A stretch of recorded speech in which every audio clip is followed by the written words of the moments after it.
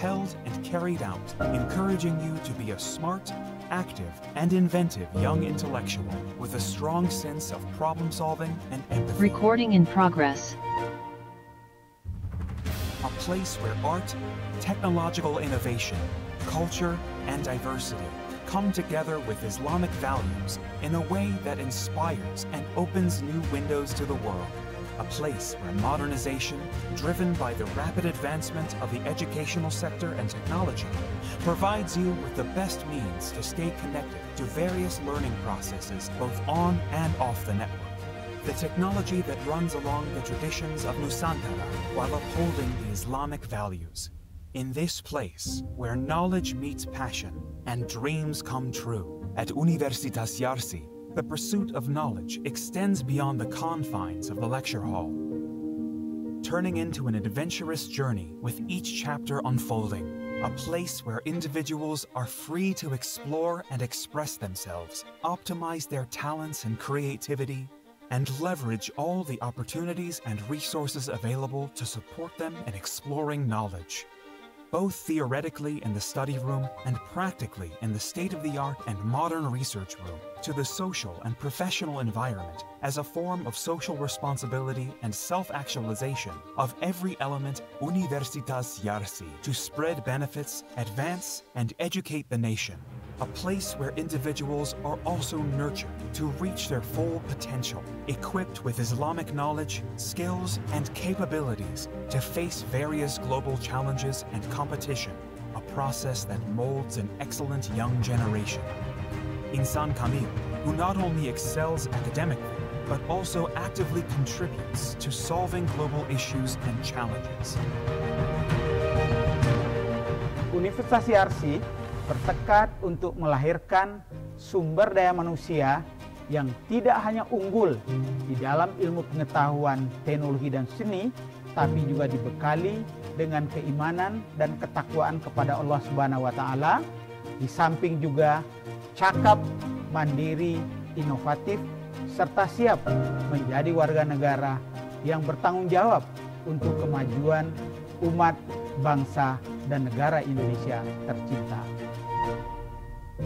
Yayasan Jarsi berkomitmen penuh mendukung Universitas Jarsi dalam rangka mewujudkan perguruan tinggi Islam yang terpandang, berwibawa, bermutu tinggi dan mampu bersaing dalam forum nasional maupun internasional.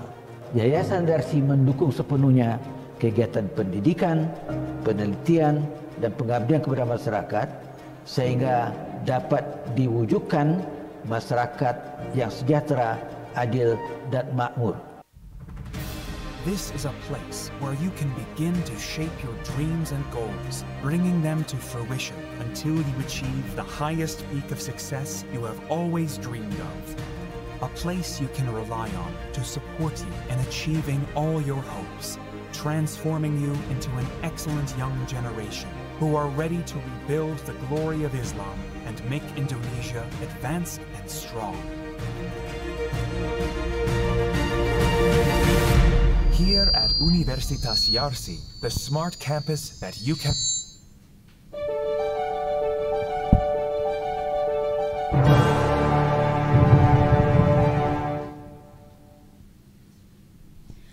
Assalamualaikum warahmatullahi wabarakatuh. Alhamdulillahirabbil alamin wabihi nasta'in wa ala umurid dunya waddin wassalatu wassalamu ala asyrafil anbiya wal mursalin wa ala alihi wa sahbihi ajmain amma ba'du.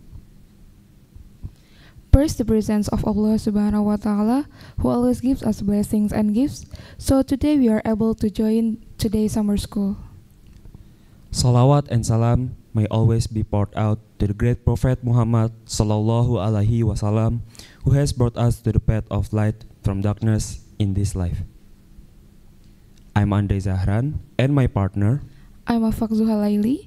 We are your master of ceremony this morning.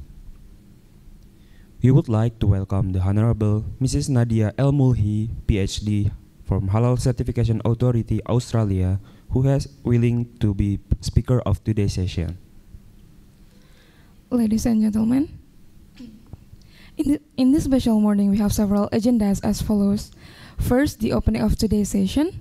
The second, the lecturing by Nadia El, El Mulhi, PhD. The third session, photo session, and the fourth, closing of today's session. Well, ladies and gentlemen, let's begin this agenda today by reciting Basmalah together. Bismillahirrahmanirrahim. Before we jump to the main session, welcome one and all in today's session of Yarsi Summer School. Yes, a warm welcome to each of you. Let's dive into the world of knowledge and learning, learning together.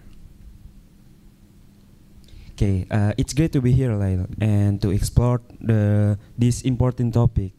Uh, the topic is Australia's halal certific- certification industry has been significant growth in recent years, but it's also faced its fair share for challenge. That's right. From aligning with inter- international standards to ensuring the compliance with local regulation, there's a lot that goes into obtaining and maintaining halal certification in Australia. Absolutely, and let's not forget the global impact of Australia's halal certification efforts. The country has become a key player in the global halal market, and thanks to its high standards and commitment to quality. Yes, indeed, Australia's success in the halal certification industry is a testament, testament to its dedication to meeting the needs of Muslim consumers worldwide. We have a fantastic lineup of speakers today who will shed more light on these topics. Yes, we're excited to hear from our speakers and learn more about the challenge and triumphs of halal certification in ha- in Australia. So, without any further ado, let's begin our main session. Alright, the second agenda is a lecturing that will be conveyed by our speaker with the topic Halal Down Under Unveiling Australia Certification Challenges and Global Triumphs. Okay, uh, let me call upon Dr. Insinyur Ani Setianingrum, MESY, postgraduate program, as the moderator and also our speaker of the day, Nadia El-Mouelhy, PhD, to start the session. Before we start, I will read the curriculum vitae of Dr. Insinyur Ani Setianingrum MESY as a moderator. She was born at 16 November 1969 and now as full-time lecturer with teaching focus interdisciplinary aspects in Islamic economics and finance. For activities in the areas as Sharia banking and finance management, research method, ethics and governance, leadership entrepreneurship, and Sharia economics law, and for further education as a doctoral program of Islamic economics in Airlangga University, with personal background or experience in Durham Islamic Finance Summer School 2019 in UK, and the second Leiden University as Early Islamic Empire organ- organized by research project embedding Conquest in Netherlands, Netherlands 2019 for work experience in general as lecturer and researcher in the Master of Management in Yarsi University and associate editor at Inter- International Journal of Islamic Microfinance, DPY IAEI DKI Jakarta, and as international board at Advanced Research in Social Science, the Government Sadiq College Women University, Bahawalpur, Pakistan.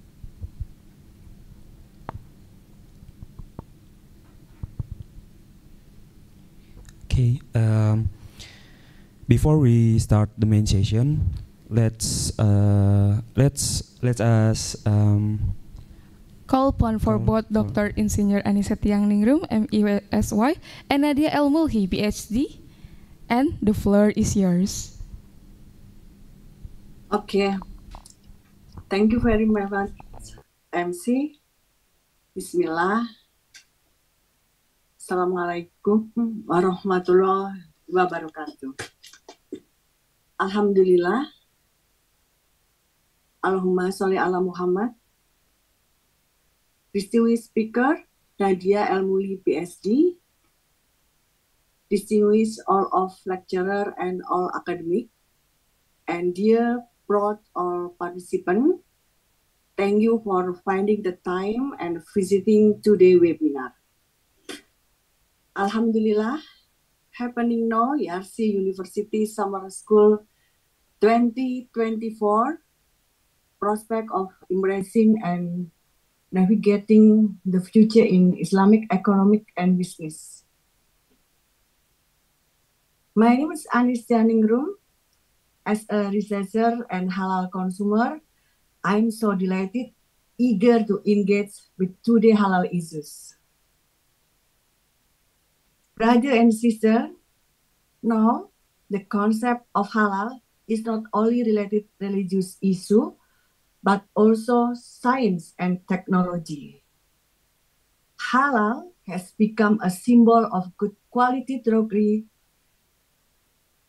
and Indonesia become a large market promoting and developing halal product and lifestyle, not just for Muslim, but for non-Muslim.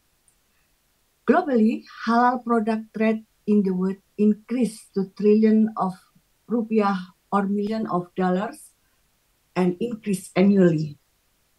According to the State of Global Islamic Economy Report 2018-2019, Muslim total global expenditure on the halal lifestyle reached 2.1 trillion dollar in 2017. The increase is very rapid in many areas. Economic finance, food and leverage, medicines, cosmetic, tourism hotel, transportation, and so forth. brother and sister. Now we have Sister Nadia. Good afternoon, Sister Nadia, which is currently on Australia time, right? Yes, thank you. Uh, thank you so much for a wonderful welcome and a great introduction from um, Yarsi University and yourself. Okay, Nadia. We are grateful that you are here with us today. Alhamdulillah, we are fine too. As we know, Sister Nadia will present her work, Halal Down Under, Unveiling Australia's Certification Challenges and Global Triumph. It's my pleasure to kick off season uh, third day. Before moving to main presentation, let me read Nadia's profile. Yeah. Nadia studies are in science, Islamic science, food safety, human resources management, occupational health and safety, small business management, trainer, the trainer including her passion within quantum linguistic and neurological repatterning, to name a few. Nadia involved in halal certification for 30 years. As the first female halal certifier in the world, Nadia brands ought to successfully direct the largest process good regulatory body in Australia called Halal Certification Authority, which is one of the largest certified in the world. She has offices in China, Europe, and Australia. In 2020, Cambridge announced her as one of the top 300 most influential women in the Islamic economic worldwide. She now stands as the only female in Australia with this specialist area is Islamic jurisprudence known as halal. Nadia has also received various awards from, from international institutions in the field of charity, leadership, and education. Brother and sister, before the presentation begins, let me tell you how this workshop will run. Sister Nadia in this season will have one hour and a half for their presentation. Following that, we will have a question and answer session for approximately 30 minutes. And finally, the session will be, be ended by a conclusion and all participants can use the chat feature in this session to ask your question. However, the moderator will select and ask some question or allow attendees who raise their hand to speak and ask question. And don't forget to mention your name and institution. If you need help with anything technical, please contact the committee assistant through the chat function. And let me remind everyone to mute the microphone during the presentation session in order to be considerate and respectful to everyone attending and presenting today. Please, all attendees are muted. Ladies and gentlemen, allow me to welcome Sister Nadia to present her work for about one hour and a half. Nadia, time is yours. Thank you very much. Thank you, moderator.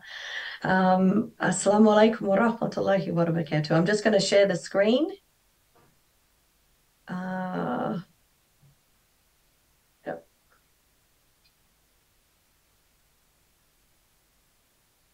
So I hope you're all well today and we'll be learning a lot about Australia.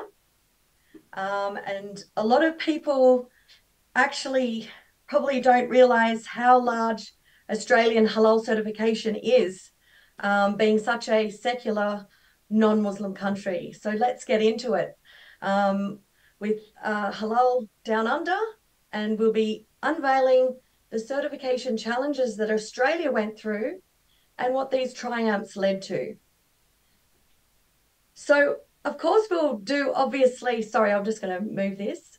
Um, we will I know it's very obvious um, as Muslims, we know what halal and haram is. For the sake and just in case there's someone that's not Muslim here today, that halal just means permissible and haram means not permissible. I am going to speak about what is haram. I do feel like we do know this predominantly, but there's a reason why I've segregated these products. The top five are usually five products that no one predominantly wants to eat. Um, however, that is not to say in some countries, um, such as uh, Scotland, there's blood sausages. Um, in America or in, in westernized countries, you have placenta peels as human parts. We have in, I believe, uh, some places in India, um, there's urine placed on herbs. Um, and also so these are there are few countries that have these types of things, and these are things that are um, obviously weary and extremely haram for us as Muslims. So these are just to put a, a preface to what we're discussing. So today we'll be discussing specifically what led to the development of halal certification in Australia. So it was rather informal as it started. Muslims, so Australia is actually a colonization of the United Kingdom or London. So there is actually evidence of Muslims coming on that ship in the 1700s to Australia. But back then, of course, halal certification is not prevalent. And if there was any slaughter to take place, it probably would have just been on the side of the road or outside their, you know, shed, so to speak. And even then, it might have not been possible because um, Australia was under colonization. So some people that were brought there were um, people that were part of the slave management or colonization, but there would have been uh, a lot of convicts that came. So it's very interesting how it all came about. But let's skip another hundred years and get into the gold rush. The gold rush happened because in Australia we had gold, obviously. And what happened then is a lot of Muslims and a lot of other people actually came to see if they could make it rich. So this is how Muslims started to have, um, come into Australia. Because um, without Muslims, we can't really start councils and we can't really start uh, Islamic cooperations for us to even start a process to even begin with certification. Just to add um, about Australia, in 1879, the first refrigerated meat shipments actually came from Australia. So, actually, Australia was the first to design the ability for frozen meat or refrigerated meat to leave a country and end up in another country. And you can imagine back then ships and voyages would take months to reach another place. There was another shipment that was um, done to France, I believe from Argentina. Uh, this was not successful. The, the, the ship reached successfully, but the, the, the meat was inedible. And the reason why this happened was because the Industrial Revolution did happen within Australia specifically because of England. So, because of our relationship with England. So, let's move along to how halal certification or even halal slaughter even took place. So, in 1948, Mr. Afif, a Pakistani immigrant, was the first to introduce halal export. I don't believe he was the first to do halal slaughter because, like I said to you, there were people that came upon settlement to do slaughter and they would have been looking after themselves. In this capability, um, no doubt these first exports would have been to Pakistan. There's actually evidence in the court documents here in Australia that are very, and, and everything here is public, that in um, 1956, Mr. Sadiq Bucks had a halal slaughtering and inspection service um, in Western Australia. And this business actually later went into a halal certification um, business. Both these um, men are no longer with um, us anymore. And um, but they were the earliest signs that we have as evidence, especially as an academic or a research researcher. So in 1970s, so how Australia became prolific predominantly in wanting halal is that in 1970 there was a major influx of Muslims into Australia. And this was uh, sorry, specifically because of the Lebanese civil war. And Lebanon is about 60% Muslim. So we probably, the Muslims, uh, sorry, the, the Lebanese that were coming in, and a lot of Europeans were coming in at that time um, into Australia. It was also because in, I believe, 1901, there used to be an immigration restriction act. So you really couldn't get into Australia. Whereas this has been lifted in 1973 and it allowed a lot of people to come in and immigrate uh, to immigrate into Australia. So in about 1974, there was a man called Mr. Katani. He had another person along with him. And they went, they came from the Saudi, uh, Saudi government. And they went to every state in Australia. And they were examining and looking at the Islamic councils that had formed and some of the mosques that had formed.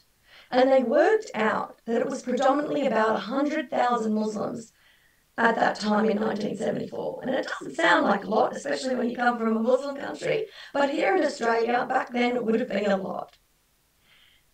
We also have something called census here in Australia, where we have to fill out every couple of years, you know, if we're Muslim, we're practicing, and, and you know how you're dwelling and they get a lot of information i'm unsure if they do this in indonesia but they do do this in australia so a lot of Muslims don't declare that they're Muslim for their own personal reasons. So um, the, the, the, the census declares at about 50,000, whereas um, Mr. Katani believed that there was about 100,000 because he went to every state and spoke to the Muslims around then. So when he came back, he believed that um, at that moment, halal certification needs to be in Australia. Now, halal slaughtering actually from, from Australia to Saudi Arabia was actually occurring from the 1960s anyway.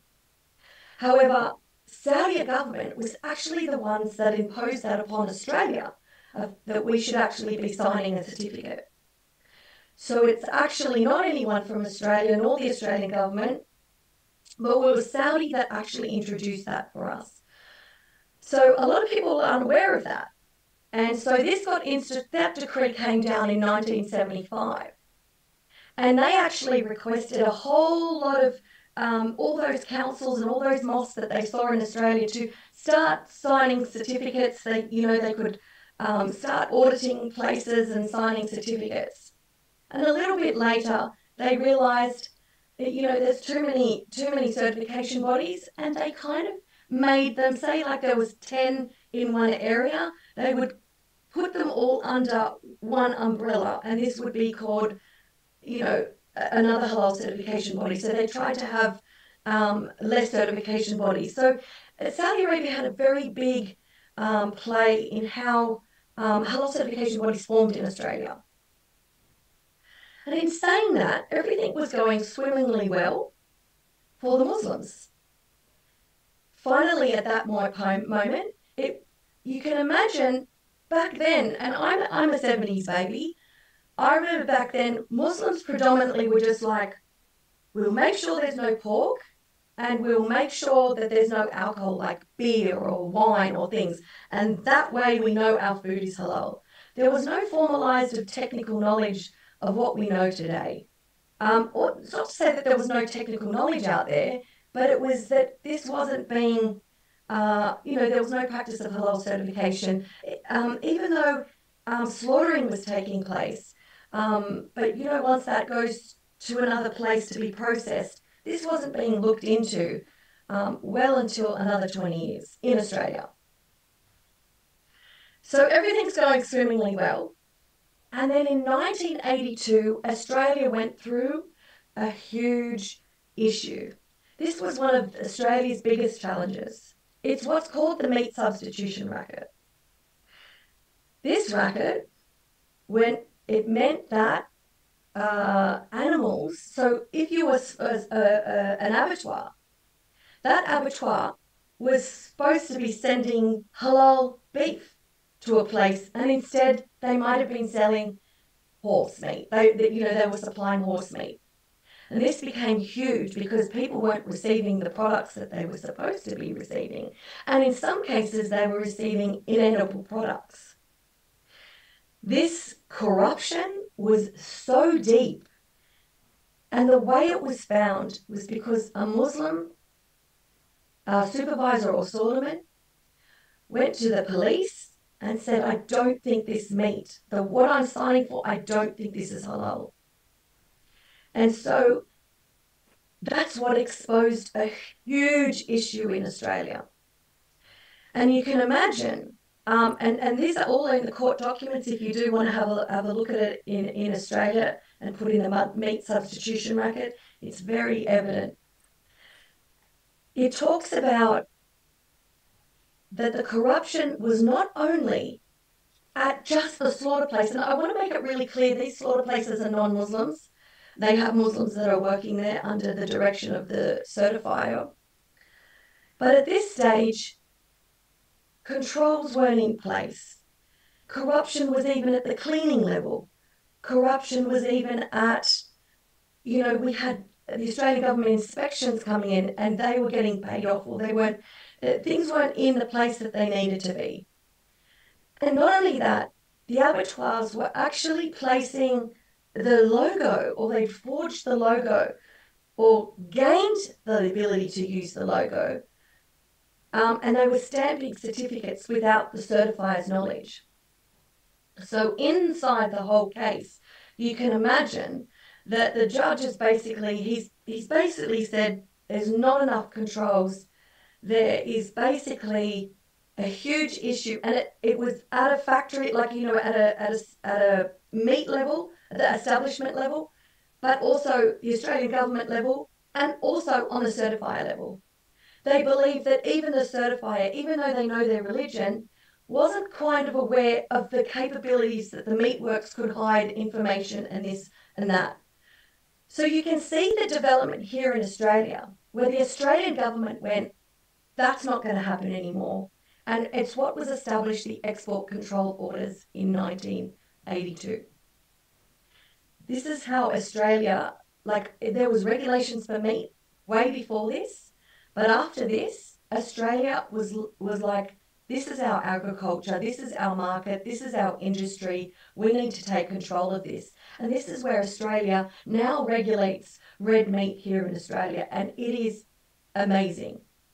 Um, we'll get to the levels that it goes to, but it, it really, um, they have a website um, that promotes halal. It's called Australian Halal. They have a specific logo that is specifically halal Australian um, and it goes on to meat. So these are many orders um, that came down, and these orders come from the Australian federal government.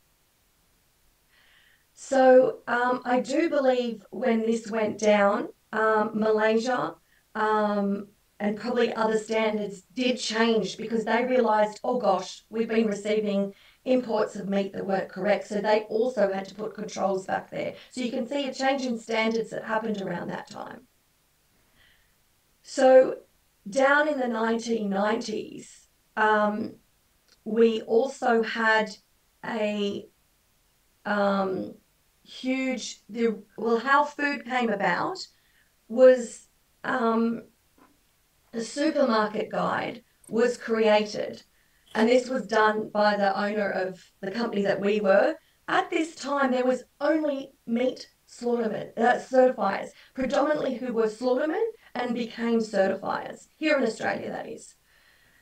And a supermarket guide was developed, and there was nothing like this before, where that got published by the Australian Federation of Islamic Council, and then this went out to the consumers and, and even tourists. And this changed the way halal certification was done in Australia specifically, because now it was about food. Now Muslims were entering into food places. And now we could actually see what's going on, how the process is. And I'm sure this happened in many other countries in different ways, but this is how it happened in Australia. In 2005, the export control orders were also changed. This is from the 82 orders, so you can see there was a major change. Malaysia and Indonesia ended up changing their standards. And so Australia then, well, we've got to follow these standards because they're huge markets for Australia, and therefore the federal law changed here. When I talk about orders and law, it means if you do the wrong thing in halal with regards to red meat, you can be fined, you can lose your license to even slaughter meat. So it's very serious here in Australia, and there's specific standards and, and, and procedures that have to go through, or an abattoir has to go through even, to even get to the level that they want to even claim halal. So in 2005, also the Australian government went, okay, well, we're going to produce our standardised halal certificate for meat, and basically, we're going to sign it, and then you're going to have your supervisor or slaughterman at your site, and they're going to make sure that that batch of information is correct. And they're going to sign what's called an interim transfer certificate to say 400 kilos of, you know, uh, red meat. This is what I saw slaughtered. They sign that, that comes that that government certificate and that transfer certificate comes to the certifier and then the certifier will dual signatory on that halal certificate of the Australian government. So that was instituted in 2005. Also in 2005, which I believe was the 1st of July, was when um, they started the Halal Consultative Committee. This committee still runs today. It has it runs twice a year, and it has all the stakeholders of the industry, meaning every halal certifier that's export worthy, every red meat abattoir. We have the Australian Meat Industry Council, we have the Australian Meat Livestock, we also have the Australian Government, and anyone else that's related. And it allows us to speak about this is what's going on in Indonesia, this is what's going on in Malaysia, this is what's going on in Saudi Arabia, and we all work together to find a way that's going to work. And obviously, the certifiers say this is what we need, and this, and then the, the meat companies are like, oh, well, we can't do this, and we're like, we have to. so there, there's this interaction that takes place. As you know, Australia, and I remind you, is a secular country, so they can't be involved in religious certification, and they heavily rely on the approved export halal certifiers. And the approved export halal certifiers are listed on the Australian government. Just like in Indonesia, there's um, foreign body halal certifiers that are accept um, that they've approved of. Same with Saudi Arabia, the UAE, Singapore. So all these um, countries do list um, their approved certifiers. So this is how it moved from a very informal, probably watching the backyard slaughter halal certification, just make sure there's no whiskey or something inside, our products to getting inside of the products uh, inside of the establishments and being able to see what went on. I believe this shows a very clear proof of how industries change and develop. In the next slide, I will show you that food, just like food safety certification, it's exactly the same. It didn't start off with the perfect food safety. There was meat. I know in Australia there was meat hanging outside in, in the butcher shops, flowing in the air, picking up the bacteria, and the flies sitting on it. This is how it started. And then they realized, oh, people are getting sick from this. And then processes started to be put in place. So, usually, from a place of process, this is usually where we start to realize we've got to put controls in. Just like, again, I mentioned food safety, you might have a salmonella outbreak and they go, How did this occur?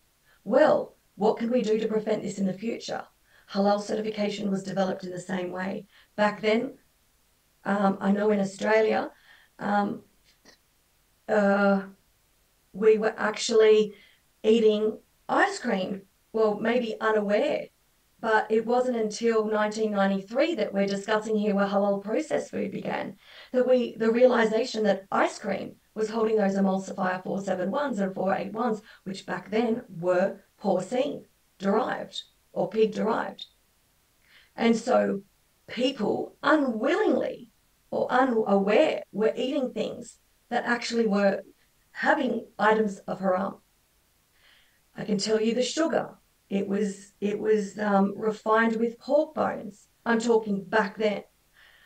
Um, so you have these interesting changes that have taken place that when halal certification came about and let me just digress one slightly bit so we have in 1974 when meat slaughtered was established but in 1993 food processed food was in australia was was established and in this process, we that's it, it's when we were going into these places, inspecting. Now all of a sudden the Muslim consumers have more knowledge, including the certifiers, have more knowledge of what is going on, how processes are done. But before that, it was very hidden.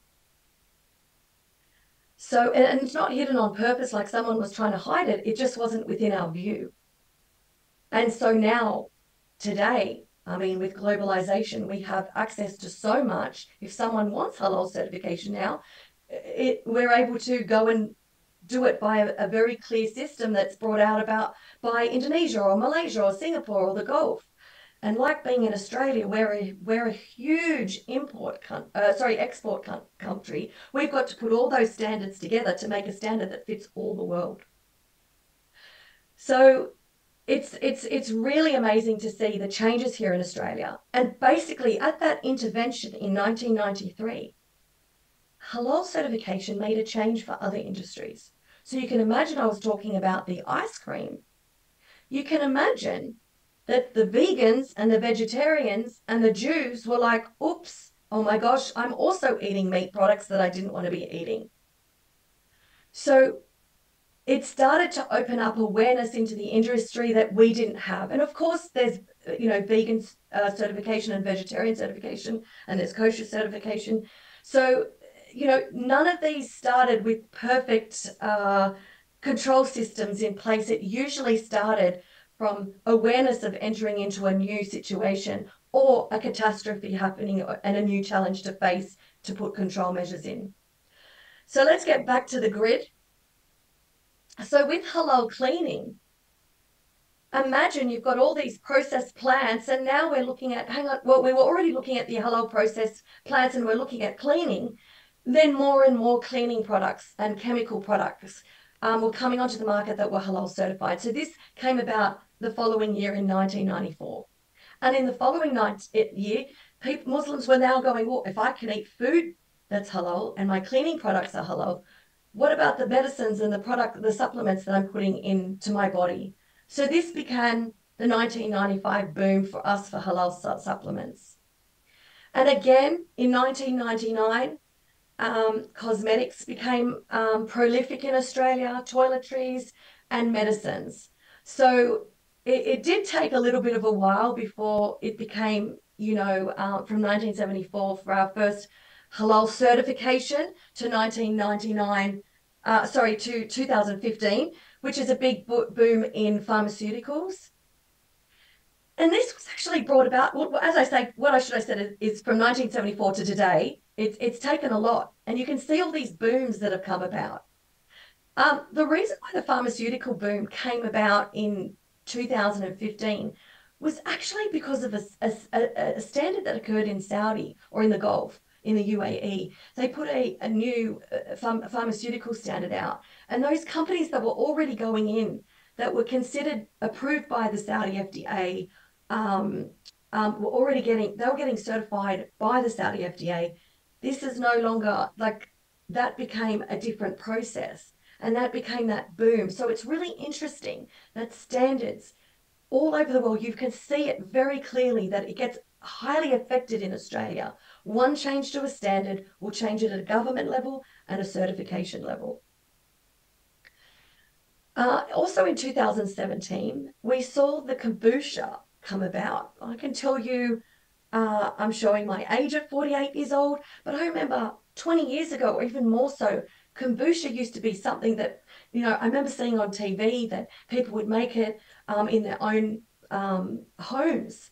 It's not to say that kombucha didn't exist before, but it became highly um, marketing. Like it was, it was huge in, in Australia. I'm unsure about the rest of the world, but it definitely is here in Australia. And it's now a, a normal product that's found on the shelves. With kombucha, I will talk about this at the end of our slides. And just leave it at that for this moment. In 2018, we saw a huge veganism coming in. So it's not to say that vegans didn't exist before the boom happened, but all of a sudden it was like, okay, um, we want to be looked after for our dietary concerns. What are you doing about us? And then it became a boom for us as halal certifiers. So, like they, a lot of companies were, were trying to produce for the vegans, and then they also wanted that to be halal certified. So here's just a snapshot of what um, has occurred over the last, oh gosh, forever. Or for us, it feels like forever, but it's probably the last 50 or so years. So, why do like companies here in Australia consider being halal certified for such a secular country. I can tell you still to this day that there are so many companies that go, oh, we don't even know what halal certification is. What is it? And I'll talk about that a little bit um, further in our slide. But I just want to plant a little seed in there. A quarter of the world's population is Muslim. Now, just a couple of years ago, it was a fifth of the world's population, but we're looking at 23.5% now. That's very close to 25. So as far as I'm concerned, it's a quarter of the world's population is Muslim. And that is one of the biggest markets in the world that you can uh, com comply to. And I don't know why many more food countries aren't involved with it, but it would be a lot to do with people not even knowing what halal certification is. It's only when your buyer predominantly says, I want to be halal, you, I need you to be halal certified. Then a processing plant in Australia goes, oh, and they start to look for the halal certifier. Well, we'll also discuss that later. So Australia is an export country with 2.6 Muslims. This was the last census percentage that was found. It could be a little bit higher um, because a lot of Muslims don't uh, say that they're Muslim, but it wouldn't be that much higher. Um, I believe that there is, I think there's about 700,000 Muslims with 26 million people in Australia. So it's not a lot. Australia is sound, surrounded by Muslim countries. So you can see all those little green parts are the Muslim countries. And you can see Australia's down in that right hand, bottom left hand corner. So we have got great shipment across that water practically going to almost every Muslim country. Our land in Australia is huge. I could say most of it's not even habitable. It's desert and agriculture and farms. And still to this day, I cannot work out where all our sheep come from and our beef for slaughtering to occur because our abattoirs slaughter 4,000 sheep a day. there's about 90 abattoirs that are halal certified for red meat in Australia. That's also including beef. And beef slaughter about 400 to 600 a day. And some smaller plants, maybe 300 a day.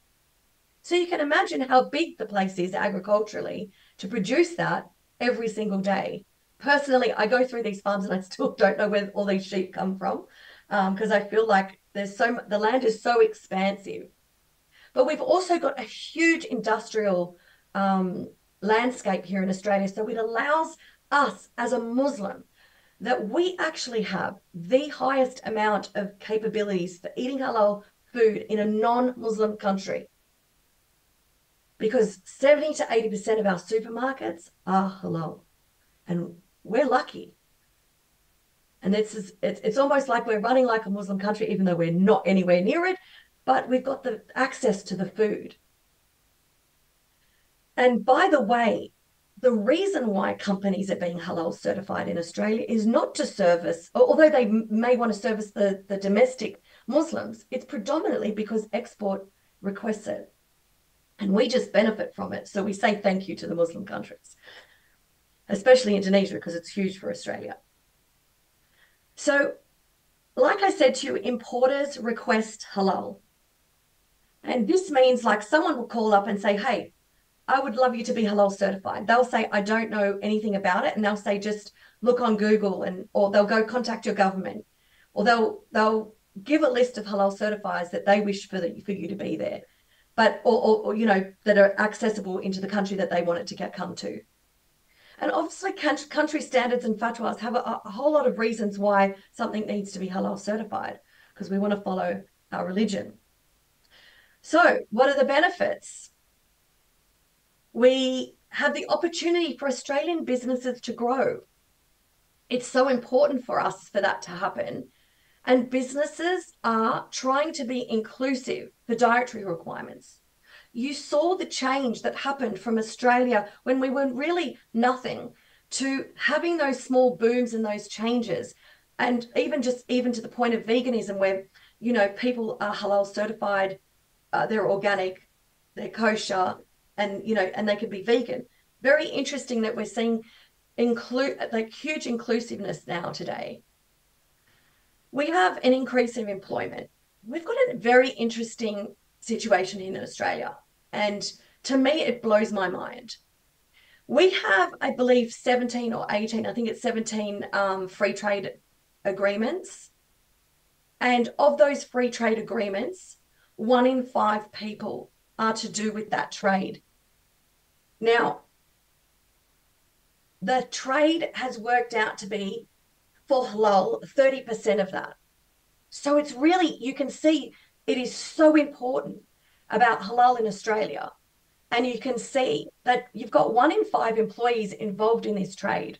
So you can imagine that people in Australia are working in the industry to promote halal or to facilitate halal products getting into other countries and not even realizing it to the level that they're doing it. Uh, and exporting reduces prices domestically for us. So if there are reduced um, exports, Australia's prices go up quite significantly. And believe it or not, actually, abattoirs send out their best meat to the Muslim countries, and Australia doesn't get that highest quality. So you guys are getting our good meat, and, and our meat in Australia is still fantastic. So we see these logos and these and these labels everywhere and we're starting as i said to you before halal oh sorry as i said to you before we're seeing in the halal certification industry that you'll have a label and it will say halal kosher vegan and organic. And you're seeing this inclusiveness. Halal is no different.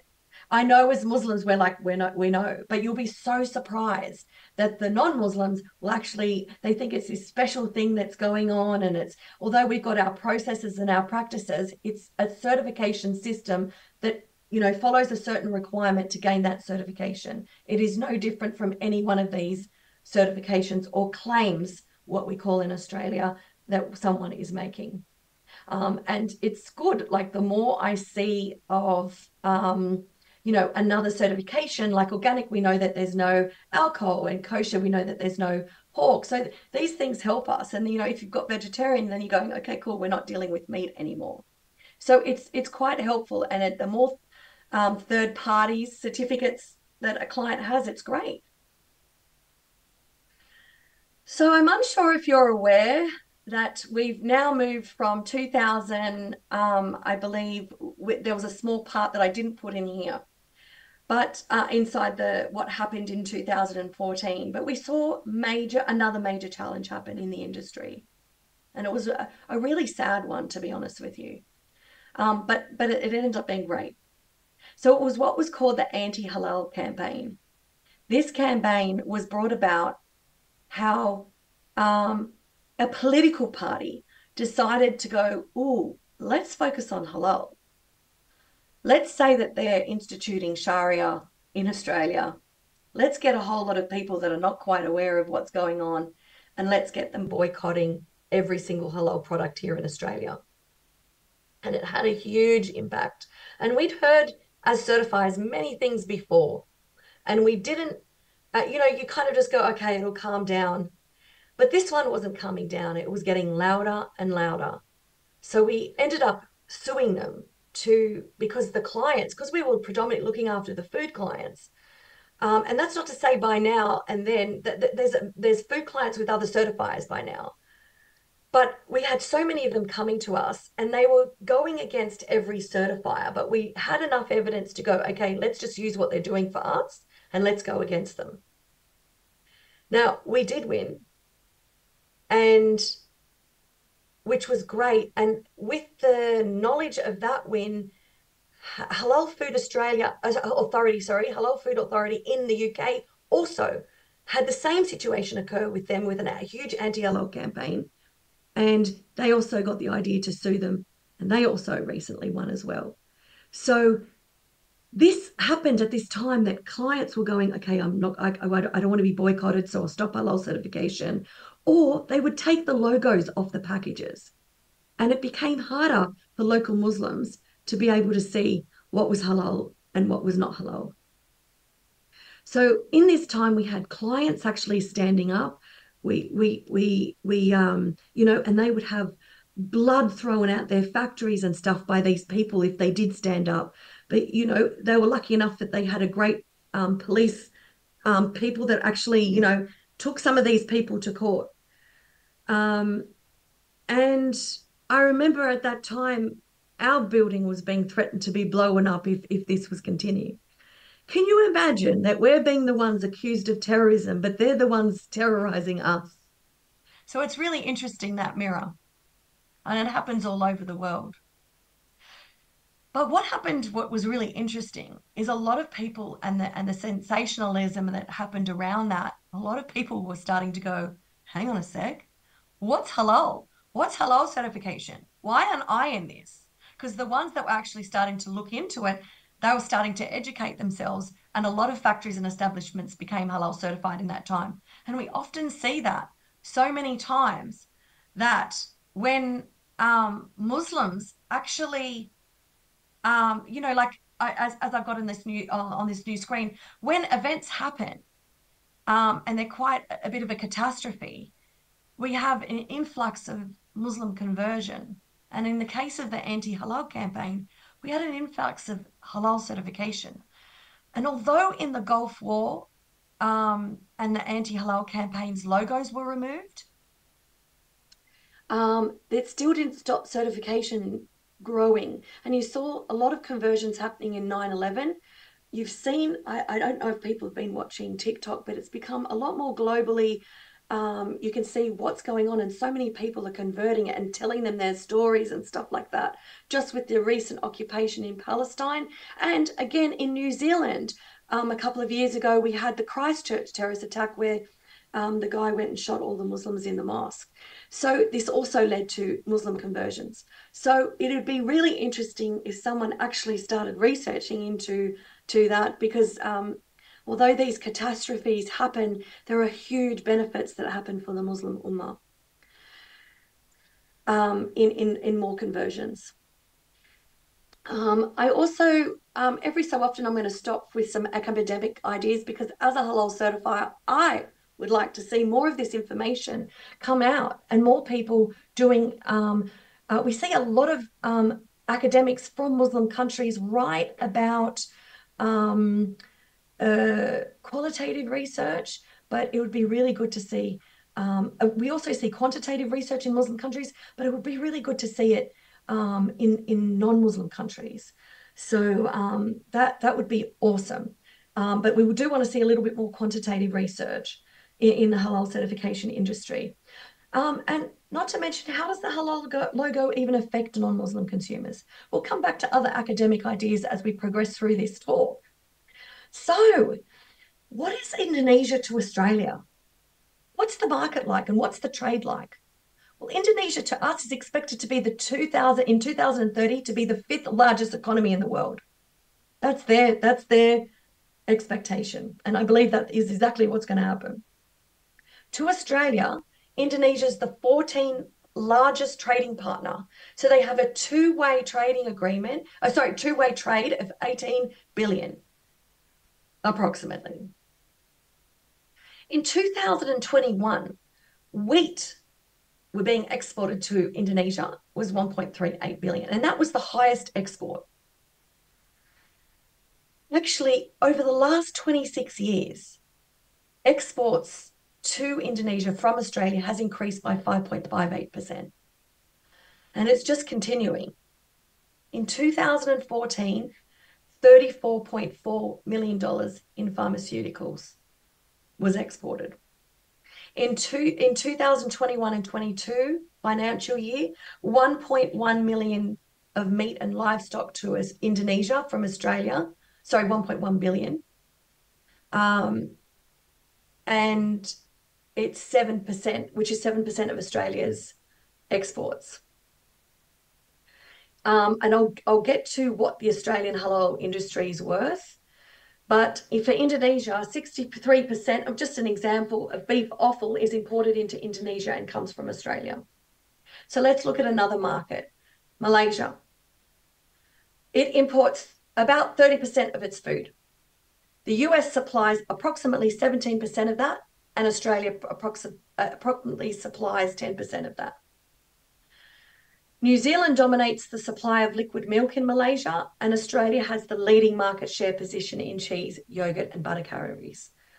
Um, Southeast Asia for dairy from Australia is huge. It's where the it, it's a huge market, not to mention meat. So, looking at Southeast Asia imports, Malaysia's 62%, Singapore's 88%, and Indonesia's 98%. So you can see for a country like Australia that produces a lot of agriculture, it's really important for us to have that market in Indonesia as well. Um, I did speak about the Gulf standards about the pharmaceutical and it changed how things were in Australia. I also want to admit that at that time in 2015, it actually um, introduced other standards and it increased approximately almost 20 to 30% more imports of halal certified goods into the Gulf from that 2015 uh, movement of changing standards. So it's not as if there wasn't standards there, but it became more um, promoted that this is what our expectation is. Don't let any product that doesn't meet this requirement. So the certifiers, you know, when companies want to be certified, they come to the certifier and then the certifier is instituting those standards. So that when their competitor is getting halal certified, the other person also wants to get halal certified. Um, so it, it became quite a quite an, a boom, not just in pharmaceuticals. The Gulf has no agriculture. It actually imports 70% of its goods and then re-exports 50%. So it might import it into the UAE and then export it to uh, uh, to to Bahrain or something. So that's how they work. It's one of the largest importers of cheese. Um, it has a huge tourism growing market. It's not to say that other Muslim um, markets are not growing in the same way because they are, but this is specifically um, for the Gulf. It has a large trade show known as the Gulf Food Expo, which I believe is happening right now. Um, and it's got a 7% annual growth rate. So what does Australia look like for increasing of halal certification? So one of our triumphs is that we're still increasing about 10 to 20% every year. Um, predominantly down that east coast, it is probably doing about 10 to 20%. I know in South Australia, they had declared that it was approximately 800 million. So you can see that's a lot lower. So what's it worth to us? These are our huge triumphs. The total halal market in the world is around 2.1 trillion US dollars. In food, Australia has 13 billion per year, and in meat, um, in 17 18 was 12.8. This was approximate, so food would be about 30%, meat is about 25%. These markets today are sitting at um, four, uh, 15 billion um, for food and 14.5 billion for meat. So you can see that it's sitting at about 29.5 billion, which is about 30 billion in, in food and meat for Australia. So that is huge. And you can see that it sits at approximately one's a third and one's a quarter of the industry. So halal, halal products and halal certified goods are so important to Australia. We do about 140 million on live um, exports. Um, our um, our uh, GDP is 1.6% of the global market, which makes us the 12th largest economy. Now, this is our biggest triumph. And I can tell you right now, I see so many times people quote Australia and their percentages, and they are completely wrong because they're getting their information from the wrong place. The Australian government has really clear, like we have industry councils that gather all of our information and our exports, and we are aware what's leaving and what's going in. We're actually number one in lamb and goat export. We're number two in beef export, and we're number four in food and beverage export. From, from starting from nothing and slaughtering in your backyard, we've become a top producer. So, as a Muslim in Australia, we have access to a great range of um, red meat and food and beverages in Australia to eat from. But this is predominantly getting also marketed out and exported to overseas countries. So it's a bit exciting for us. So let's look at some um, success stories. I don't. I I know this product does go actually to Indonesia. It's known as Bega cheese. Um, when they started out before halal certification, they were worth 100 million and they had 100 workers. Today, they have halal certification. They're worth 1.4 billion with 2,000 workers. Bega Cheese has not only just gone and they had their own factories that they were dealing with their cheese products, they've just gone and bought a whole lot of um, dairy um, factories also for milk, which is they're just huge now here in Australia. So that's it's it's it's amazing. So they're exporting about 442 million. So another success story, this company called Dollar Sweets. They increased 15 so in the year financial year of 2022 and 23 um, the Australian government decided because we've got a great government that supports trade um, they actually Dollar Sweets were like help Australian government went, yep, what do you want us to help with? They were like, we want to increase. So they were like, get into halal certification. Actually, Dollar Sweets were actually halal certified for quite a long time, but they wanting to develop, they wanted to increase their halal market. And they did. In one year, they increased by 15%, which I believe I think was a million dollars. Um, or they had a, they ended up receiving in that year a million dollars worth of um, business um, which led to even more. Um, so the recent way they actually started promoting because they were like, well, Muslims and Muslim women want to bake all over the world and they want to have cakes and stuff and they want to put these, um, what they're called parallels. I can't even say the word properly, but they're, they're called hundreds and thousands. But, um, you know, and, and they've become great. So it's another success story in Australia. Um, just before we get into domestic and export, I also wanted to discuss um, how the Australian, oh, sorry, I've just lost it. Please forgive me. Um, it'll come back to me. um, the I'll let it go.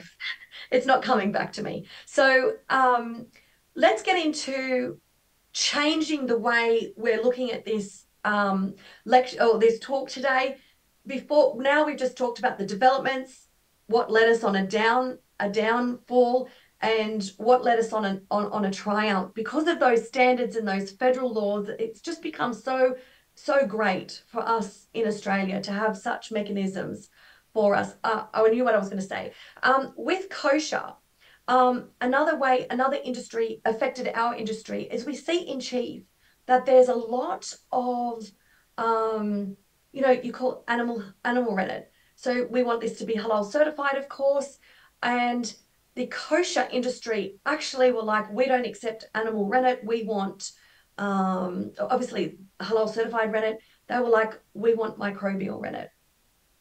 And so, of course, we need this to be halal certified, the microbial rennet. So the industry in Australia has predominantly changed to microbial rennet now that's found in cheese. So it's interesting how different certification um, are into, into like uh, having an effect on another certification. I just wanted to say that before we try to totally change a uh, perspective and move into what does this mean? How are we actually providing certification here in Australia? So we actually have 27 licensed export halal certifiers. Licensed means the Australian federal government has approved these certifiers. And these certifiers means that they can do red meat or they can produce they can certify for meat in Australia. If you are not on that list, you cannot um, do meat. It's not to say that you can't do food, but um, the meat the list that's on the Australian government website is predominantly to make sure those ones are licensed, they've been audited to the standard. Now, with the Australian government, not only when they come to audit us do they audit us to the federal government requirements and the meat requirements, they're also going, well, Malaysia requires this, Indonesia requires this, and they're also holding us to that standard as well. And these reports are also sent to governments when they do their audits also in Australia. That's not to say that um, the Muslim governments also come to audit us in Australia, as well, as, as other countries they, they do. Um, in Australia, we have what's called domestic certifiers. This could be a mosque, uh, a local mosque that could just go, okay, we we've got a we've got a town in the middle of nowhere. It's five hours out of Sydney, and they they just tend to just maybe locally certify something that's down the strip of shops or they might do that area. So this is what's called a domestic certifier in Australia. Um, usually these certifiers predominantly look after food service, retail, butchers, things that are staying here in Australia and not exporting. And worldwide, believe it or not, um, when I talk about uh, halal certifiers, I'm talking about foreign certifiers. To us in Australia, I know in Indonesia, um, and, and in Malaysia, like you've got what's LPHs, like these inspection bodies, um, and, and the main person was MUI, now it's BPJPH. Um, you also have, um, for us, that's considered the main certifier. So, so JAKIM, MUI, MUIS, um, these were considered one certified to, to us when they're counting this. So um, there are about 150 licensed export halal certifiers. This means those that have been approved to Muslim governments. So, say it's Indonesia, Singapore, uh, the Gulf. So, believe it or not, there's not actually a lot.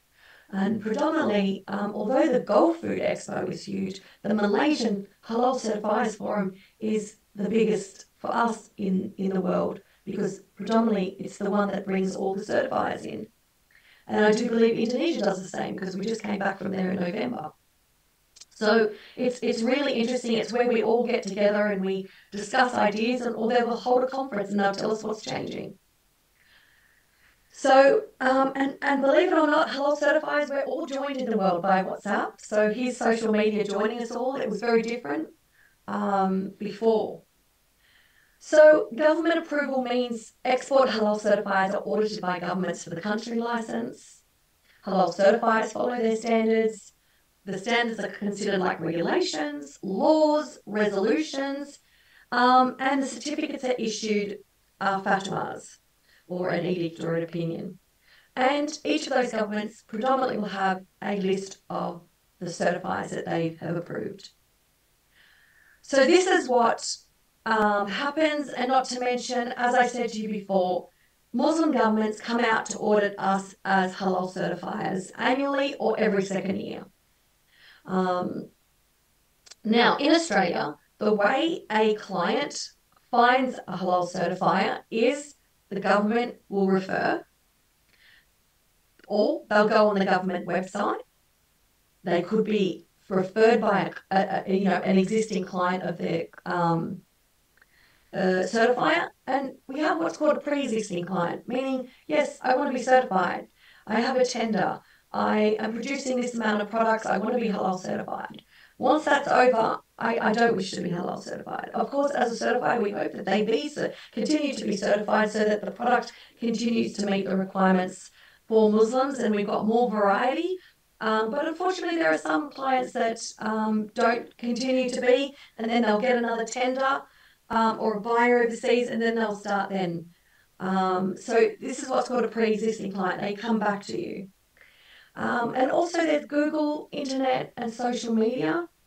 And of course, there's word of mouth. I know for me as a certifier, the word of mouth and the government referral and client referral are our biggest um, ways that you know clients come in to um, contact a certifier. But believe it or not, you have all these certifiers, but even though the standards, like the standards are exactly the same, it doesn't mean that there's differences, there's no differences in the certifier. And this is all over the world. But specifically in Australia, I can tell you these are the these are the main things. So reputation is a huge thing. A client may choose the reputation of a certifier to be halal certified over the market access. Um, I know, um, especially when there's a company that's huge, and there's, I'm talking about major household brands that are all over the world, will definitely choose reputations uh, over that. Um, and I have been so I have witnessed that with my own self um, that they they they are like um, we don't want you to be in this market because this if or or because we want to stay with you and it's reputation to us. So it's really interesting to start to see um, that come about. Um, there's also um, me having to sign uh, terrorism contracts and stuff like that. Uh, what is it called? Anti-bribery. Sorry, not terrorism. Um, so that comes into that reputation um, thing as well.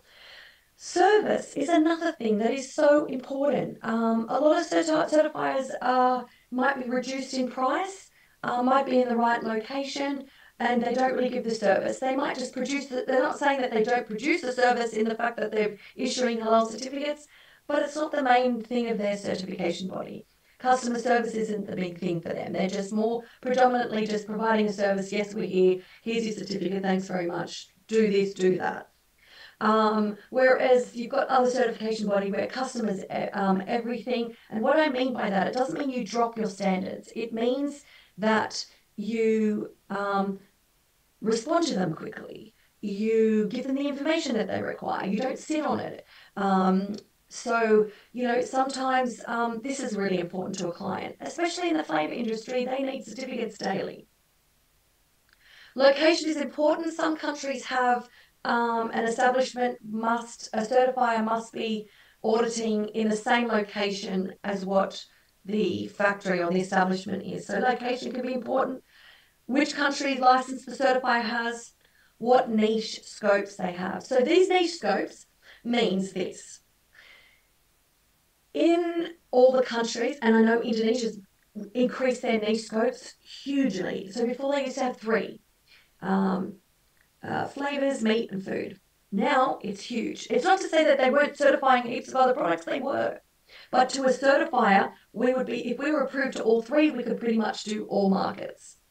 Now it's changed. You might, you've got to have several different scopes to get into different to, be certified. And the same thing happens in other countries. So there's many different scopes now. So you might be a juice company and now you've got to find a certifier that can actually certify you for juice. Another thing is if you're speaking Bahasa and your certifier speaks Bahasa, they might find it easier and you've got that nice, nice uh, uh, thing or Arabic or whatever it is, they, they might just find it easier. And of course, price. Price is sometimes what governs everything. I can say um, if you provide a service, the client usually doesn't care about the pricing. Um, but if you've got a client that cares about pricing, um, they just want the lowest price possible to get the most out of anything. And that, that's business, I guess. So let's go through the application and review stage. Don't worry, I won't go too much into it, but it's just explaining to you how we certify maneuvers in Australia. I'm going to speak to you uh, predominantly what we, we, what we all do is we receive and we, we don't go out. There are some people there are some new certifiers that may cold call. Um, predominantly, that's not the way it's done. The client will actually call you by email or phone and say, "Hey, we need halal certification." They complete this manually or they complete this electronically. Most of the certifiers are still in a manual situation. Um, and they will uh, uh, someone will review that application and this person has to be degree qualified this is the requirement now 20 years ago 15 years ago this person would be knowledgeable in the area but the more people that are, have to be in halal uh, bodies or the certifiers must be degree qualified. Now this is a requirement by the governments. So you have the establishment name an address that's on your application form. You'll ask how many staff they have how many production lines they have. We want to make sure that there's no pork on premises. Um, we want to make sure they're not manufacturing, say, beer or something on the on the lines and stuff. And could that because that would lead to rejecting the application. And which countries they're exporting to, because countries is really important. If we don't have the country, we need to pass the client on. So that at the application stage, we can get rid of clients. I don't mean that in a bad way, but it just means we may not meet their needs or they might not meet our requirements. So we will pass that on to a certifier that can meet that requirement. Um, not to reduce in uh, um, Islamic requirements, but you know, say a market requirement or a scope requirement. So if they say we've got it approved and they said yes, and you've looked at the products and the ingredients and the halal certificates that they've compl- uh, applied, you'll find that the um, you know you'll say here's our terms and greens uh, conditions. These are the fees. If they accept, they'll move through to the auditing stage. Uh, worldwide, halal certification requires two auditors, one Islamic, one technical. So food science, biomedical science, pharmaceutical science, as long as someone that's studied in Islam. So you'll have those two people going out all the time and um, auditing, um, and um, they will complete a checklist uh, matching the standards that are required for that export of that product.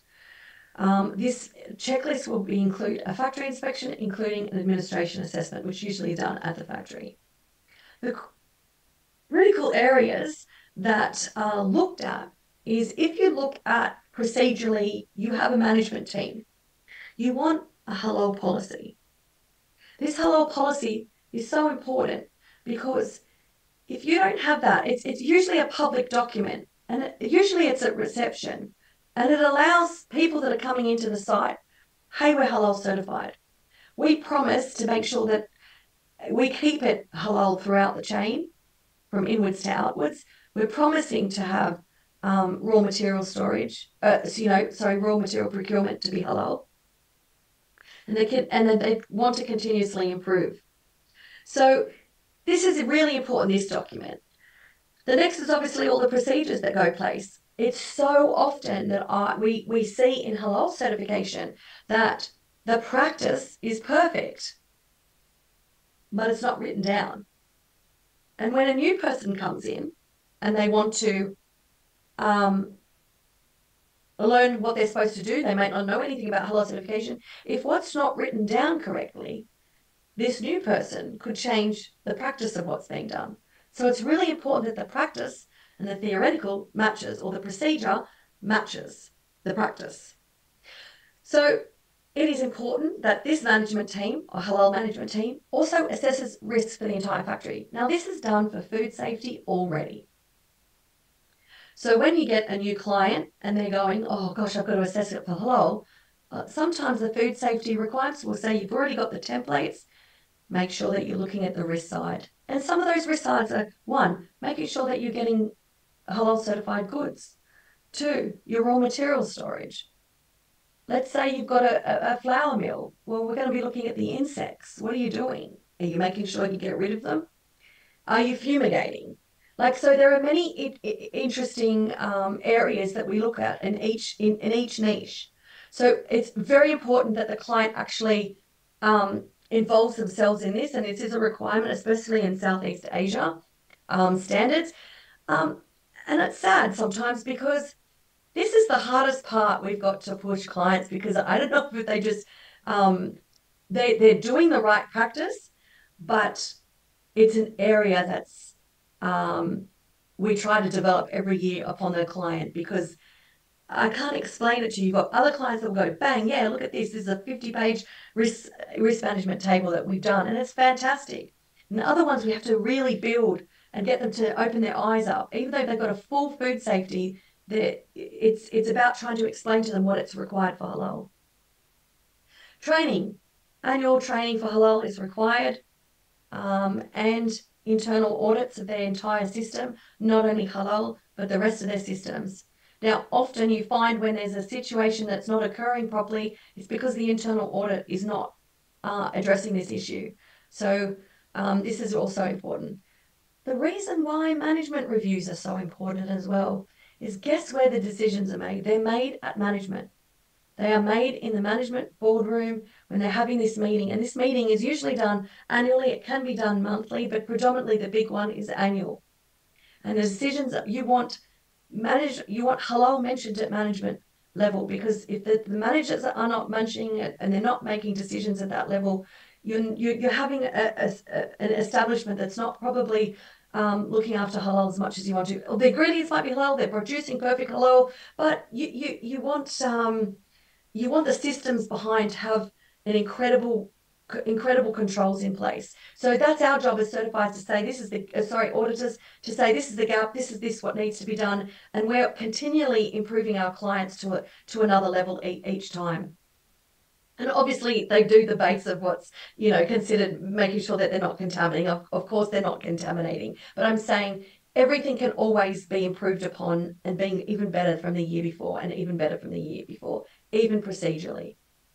So some uh, critical points from a factory perspective, everything from inwards to outwards is so important.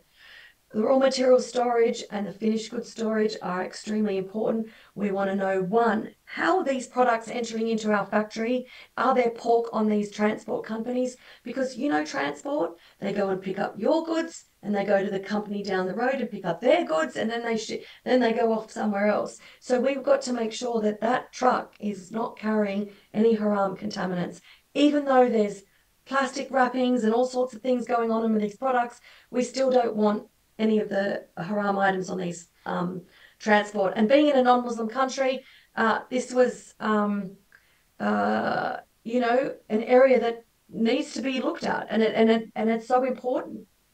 Uh, raw material storage, so we're just making sure that everything's um, separated. Some clients might have um, halal goods and they might have non-halal goods. When I say non-halal goods, these aren't haram items.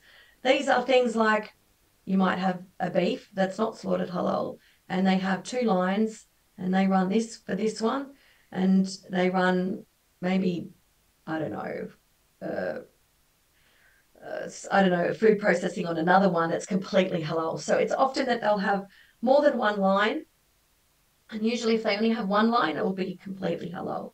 But predominantly we aim in australia to make sure that the site is completely all their products are halal certified, all their raw materials are halal certified. Um, obviously, if you've got your raw materials down pat, your production's easy because in Australia and all over the world, whatever your approved supplier program is, you can't get products outside that approved supplier program. So the only thing that can be affected in production, um, it, well, it's not to say the only one, because if you had poor management of your raw material storage and you're buying off not off your approved supply program, then you've got an issue. But your production, you're looking at what's con- what what is the food touching? What's the equipment? You know, is it the equipment? This has got to be halal. If it's um, cleaning products that are in contact with that, this also needs to be halal. Your testing obviously is done. Um, uh, being an export halal certified, we also do testing. Not only the site does it, we also do porcine DNA testing, swabbing, and we do ethanol testing just to make sure that the products uh, it's an, an extra control measure to make sure that Muslim governments are receiving halal goods, even though um, we can have a muesli bar, which you think has just got grades and stuff, we'll still do a test um, just to make sure. So of course our packaging, um, a lot of people come to me and they're like, what the hell, what's going on with packaging? I don't understand. It's just box, boxes and plastic. But you'll be surprised that um, those boxes can have wax on it. And that wax is made of animal fats. Um, I know back in the day, apples, you know how they look really shiny? Um, that used to be animal fats. They used to make it all shiny with animal fats. So um, things like raisins and, and stuff like that can be done with animal fats as well that make them, you know. Um, so uh, another one is making biscuits. It's not in the ingredients, but they'll put it on a, a, a, a tray um, that's going in through the ovens and it's got animal fat on it. Um, obviously, not in the halal certified plants, but they've got animal fats on it.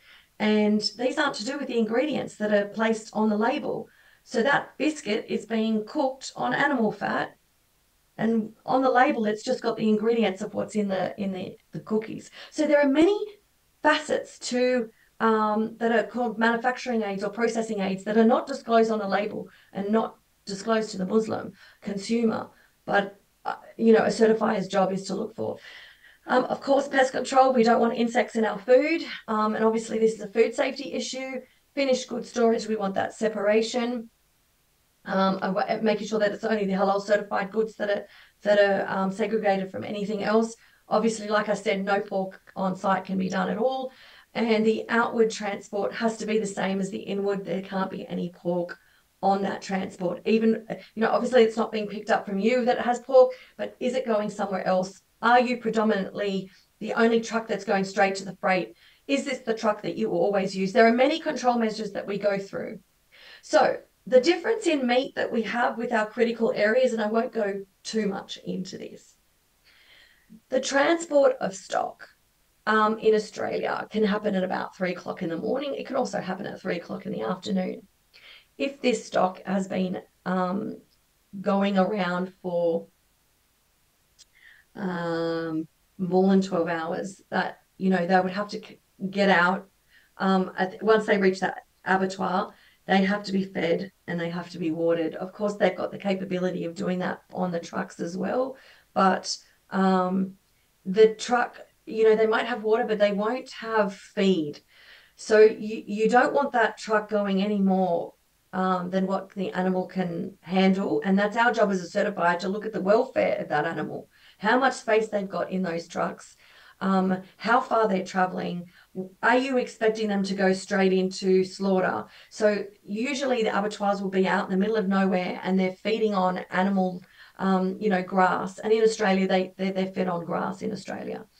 So um, another thing in Australia that's very all the vets on the abattoir are registered where they're with the Australian federal government. So you'll see an Australian government emblem. They're there all the time trying to, to make sure that they're meeting the um, federal government export control orders, which is now an act and it's now considered the export control um, rules 2021. So it has changed from 82 to 2005 to the new one in 2020 and 2021. So vet welfare, it looks to make sure that the animal is okay, making sure there's no cancers, no dog bites, um, and that's their job. And they'll give each one a number, and they can only put healthy ones through. We won't go through the the, the main thing of it, but obviously it's got to meet the stun parameters.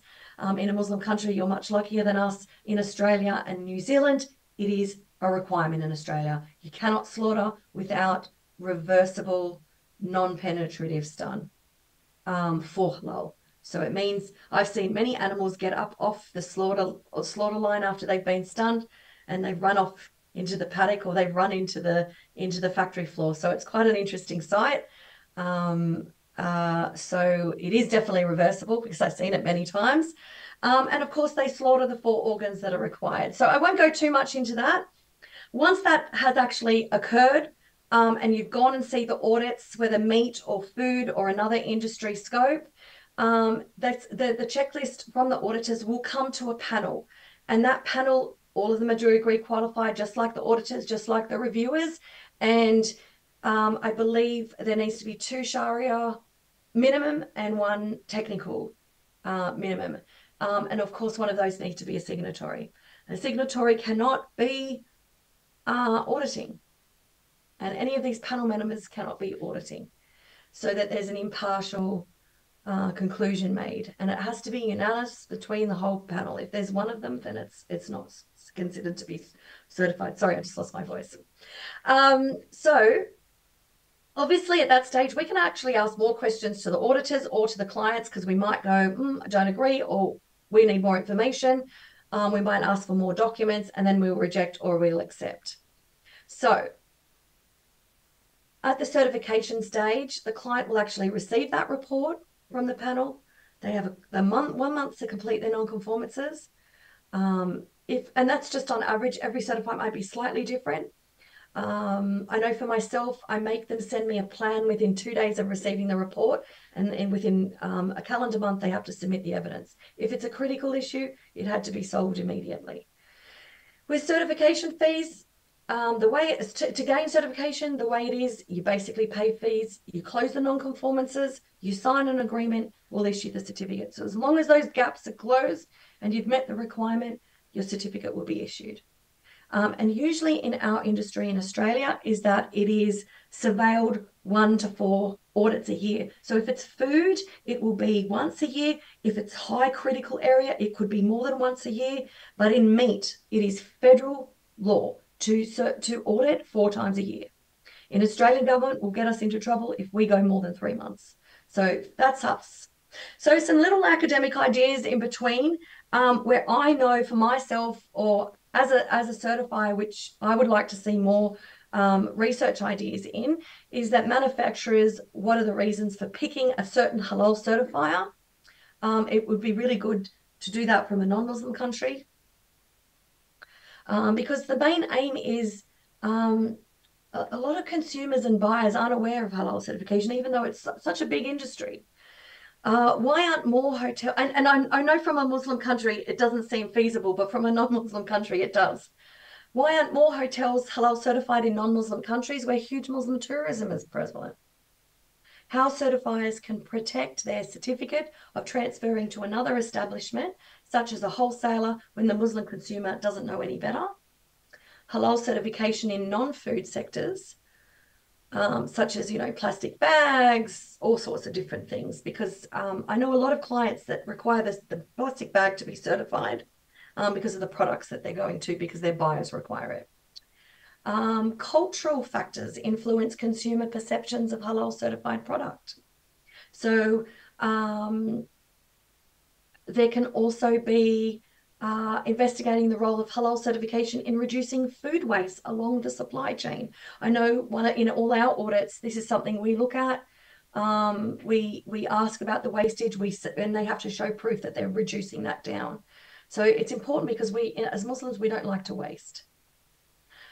Uh, a lot of the weaknesses inside the global industry for a halal certifier is yes, we haven't got that harmonized standard. But there's some exciting news. In Malaysia last year, we saw all the countries um, there um, at the, the forum. Um, and, you know, um, it was so interesting that we're seeing now governments, it's not about the MOUs, but they're actually saying we're going to see how we can join the standards. Um, or there'll be something between them. So this has never happened. It's not to say that there hasn't been um, each country puts out their standard that they want, but we've never seen that occur in a, in a halal forum. So, look, it's not going to happen tomorrow, but it's nice to see that industry changing, and it's probably looking at well we hope as a halal certifier that you know if you're you're you're certified and audited and you have a license to Indonesia that that would automatically gain you into other countries so that's what that aim is like. Whether that actually happens, um, that's what they're talking about. But it'd be it's it's great for us as a certifier. Um, another weakness is the distributors and the brand owners. There's misuse of certificates, and this happens all over the world. The manufacturer will um, they will they'll produce products for a brand owner so that they might produce for many brands um, so this manufacturer will be halal certified, but then there's a misuse that this this um, manufacturer gives the certificate to all the brand owners going here your products are certified. But what people are unaware of um, is that that label and the packaging are owned by the brand owner. So they are really needing certification in their own name. And i know there are ports especially in southeast asia that actually go no sorry it, you you need to have a certificate in your own name but this it, it's still not being governed as well as it should be. Um, and it puts um, the certifier in a, in a, in a risky situation because there's always a misuse of um, the logo. Um, it's not to say that the product's not certified but there's just you know you haven't got the rights to use this logo because that logo needs to be signed by the, the, the person that we've given the certificate to. So if we've given the certificate to our client we're not giving it to a third party so we would require a signature from a third party so that they're following our rules. Um, a transport and logistics centres. Now, I'm not talking about transport just to the trucks. I'm talking about when you get to the distribution centre at the freight forwarders before it's going off. Um, they have access to information. They would have transport documents, certification documents, um, you know, um, health certificates, all sorts of things before they're going to import into a specific country. Because not only that, that country will have information that they also need. So there'll be additional stuff that beyond a certifier, these people have the ability to monitor logos that they, if you know if they're claiming on their products that they're halal and there's no certificate to to back it up that could be a stop um, i'm not just talking about my products i'm talking about anyone's products so there's that capability that hasn't um, uh, been developed at that stage yet. And I'm not talking about distribution centers or transport companies. I'm talking about the part where it gets to the logistics, just at the freight forwarders. There's a lot of stuff that can happen there that could be stopped. Um, so, uh, the dissolution of Australian Muslim consumers. There's a lot of dis- like in Australia being a non-Muslim country where there's a dis- there's discrimination, there's Islamophobia, this leading to feeling of marginalization. We have stereotyping, so um, we can feel misunderstood and unfairly judged. Uh, when there's political climates, it can change the course that can impact it directly or indirectly, um, including international events. So the, this can influence influence people's perceptions and feelings. And there's misinformation. So that always perpetuates a mistrust. And misinformation is huge for us here in Australia, meaning like we're always, you know, there's there's even from that anti-halal campaign there's some there's some some ideology that you know halal certifies fund terrorism um, that we're instituting islamic law so as i said to you before i would speak about this a little bit later I remember back in 2014, SBS, which is a TV channel, um, actually called and said, you know, we want to write about this tonight. And I said to them, you know, this is the situation. And it was really great because they ended up getting um, a uh, AUSTRAC, which is our um, they chase they trace all the financial things that move in from accounts. So they issued a statement saying no halal certifiers involved in, in terrorism. And the, Australian Crime Commission also said no halal certifiers involved in, in, in, in terrorism. So we had all these places actually standing up um, saying that you know this isn't true so it was it was a huge thing here in australia and it was affecting it at government level as well um, there's also myths about us that we bless the food. Yes, we make sure the intention, you know, Bismillah Allah Akbar is said before slaughter. But we don't go into a cheese factor, factory, you know, blessing the cheese, saying Bismillah Allah Akbar. So, you know, there's these misinformations that um, go around. Uh, at the same time, there was stand overing that we stand over them like mafia style. This is non-Muslims thinking this. Um, and it can sometimes affect like you've got to met, think that most of our industry that are clients are non-Muslim. Um, and they believe only meat Muslims can eat halal food. So it's just interesting that misinformation. So let's look um, before we close a little bit um, some Muslim myths.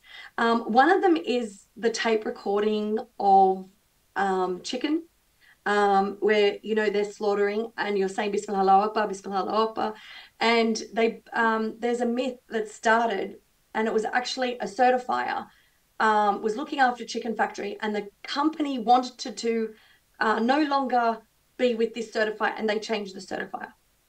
Unfortunately, maybe due to the, the immaturity of the other certifier, they had actually um, put it put a rumor around to say, oh, they're using tape recorders. And of course, this went through the Muslim community.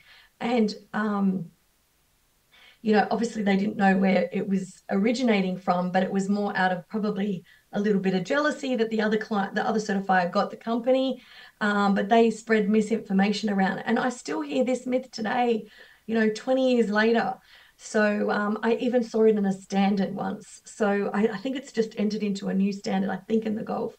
Um, but it doesn't exist. So it is done by mouth and it always has been done by mouth. Okay, so butchers. This is another little weakness that we've got in Australia um, and in a, in a non-Muslim country is we get a certification from the abattoir. We make sure it's certified. But the butcher then goes, I want to get halal meat. And they will say, I don't have a halal certificate, but I'm buying halal meat the consumer never looks at the halal certificate to the level of looking at the name and the address that, oh, this doesn't meet the butcher that I'm at. That the meat, when the abattoir and the butcher usually goes to a wholesaler that has pork on it. So this that we have is that the Muslim consumers, if they were making sure that this butcher was actually halal certified, you wouldn't have the problem with the middle the middleman. But very often, the butcher obviously um, doesn't want to be halal certified because they feel, oh, I'm Muslim, I don't need to. But they don't realize, you know, they're getting it from here because they're not asking what's going on in there. There's a there's so I mean that's just one thing. The butcher might be non-Muslim. He's not serving any pork at his butchery, but he's he's he doesn't realize that he's he's getting he contacts his wholesaler saying, "Can I have a halal certificate?" The wholesaler goes to the abattoir and gets the halal certificate. The other thing, obviously, is haram, haram names. Um, it's very often Muslim consumers. I mean, we know about wine, um, not to have it, and hot dogs. Um, you know, uh, where the hot dogs are actually a, a long piece of bread. Um, and it was done because of the sausage dog. It's named after that. But bacon and cheese balls, um, really interesting. Um, I've I've seen Muslims eat this. Um, there's no bacon in it. Um, it's just called it by name, but they're not realizing the hadith. There's probably a lack of education that they're not realizing just because it has no bacon in it, the name is mimicking something that's not halal, so it's not accepted, acceptable. So unfortunately, um, you know, this is another thing. So I told you that I would come to kombucha. So it is accepted. I believe all the standards pretty much accepted. But here in Australia, the New South Wales government has does not regulate the half a percent alcohols that can start to rise in these products. And they have investigated that they found some at 2.3%, way beyond what we would accept for Mus- um, Muslims. Uh, it's not something like personally, I don't certify beverages, um, especially ones that are going to ferment in any way. But I always say, Muslim, like I, I can't tell you how many Muslim consumers here in Australia eat, drink um, kombucha, but um, personally, because I'm aware of this report and I'm aware of the industry, um, you know, it's something that I just won't certify, but other certifiers will. But I mean, there are control measures that you could put put in place, but it's something I stay away from. So I always say, you know, leave it to your personal opinion, whatever your heart says. Um, obviously, science has a long play to play, but some people just don't um, listen when I'm giving them the information or where to go to. So, some academic I, uh, ideas are exploring the role of social media and online platforms in shaping consumer attitudes towards halal products, um, exploring the potential for halal certification to address food scarcity and distribution challenges, which we had in COVID. Um, so we we had um, clients couldn't get their ingredients. And if they're in a country and they're getting everything from say china you know that that caused a problem because they couldn't get those products from china when they closed the ports. Um, assessing the impact of gender sensitive certification on consumer perceptions and market dynamics. So you know um, muslims may um, you know females may be on their menses and they decide that they want to put makeup on or maybe just nail polish um, or nude nail polish or something like that. Um, and, you know, there's these gender differences. Um, investigating the influence on digital marketing strategies on perception and promotion of halal certified goods. So the urgency um, to wrap up um, and the demand in halal certification is there are export opportunities, open up new markets and trade opportunities. Consumer trust. Halal certification builds trust among Muslim consumers. We're aware of halal practices that increase businesses, but they also have the urgency to obtain a certification so that they can meet those halal standards. On the other side, um, say you're you, you're the buyer, you have regulatory requirements from the country, just like Indonesia and Malaysia, where they say we need a halal certificate. These are the requirements for you importing. So they they want to they want to make sure you're doing the right thing to avoid any legal issues. Of course, it's a competitive advantage. If your competitor's got certification, it makes it makes others get um, halal certification as well or want to be halal. And of course, there's the cultural sensitivity. So in regions with diverse populations, business may recognise the importance of catering to culture and religious preferences, which is happens a lot in Australia. We're one of the biggest multicultural countries. So to finish up, um, the opportunities are that we're growing Muslim populations, there's increased consumer awareness, globalization and trade opportunities, there's diversification of products, increased halal tourism, there's technological advancements that are happening. You know, you can see AI happening, um, and it's even thinking about getting to the point where you have a manual and you say, does this manual say this? So there's it's advancing at a very strong pace. Um, continual upgrades and amendments to current regulatory standards, and of course, our biggest um, opportunity is harmonisation of standards. So, thank you so much.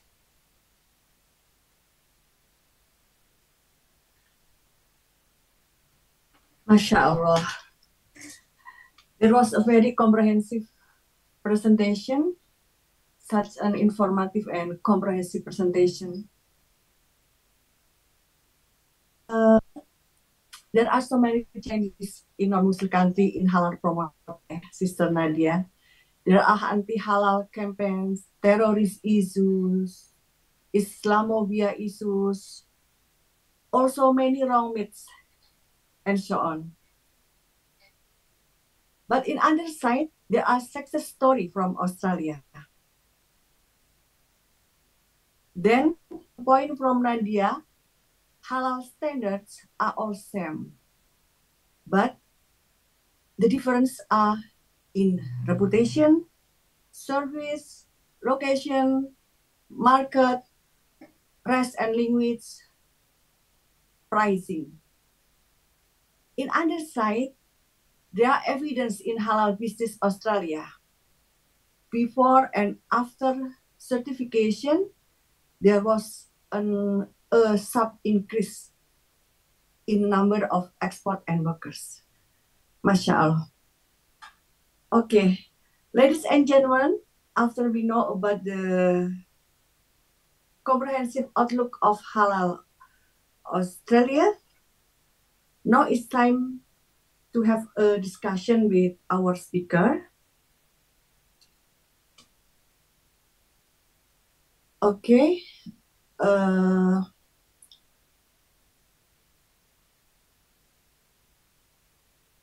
Okay, okay. Uh, we are glad, yeah. Uh, we already received one question, but yep. uh, from from we read the question. Uh, moderator will ask question first.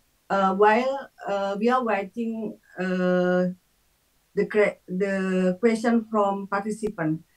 Uh, oh. Nadia, first question.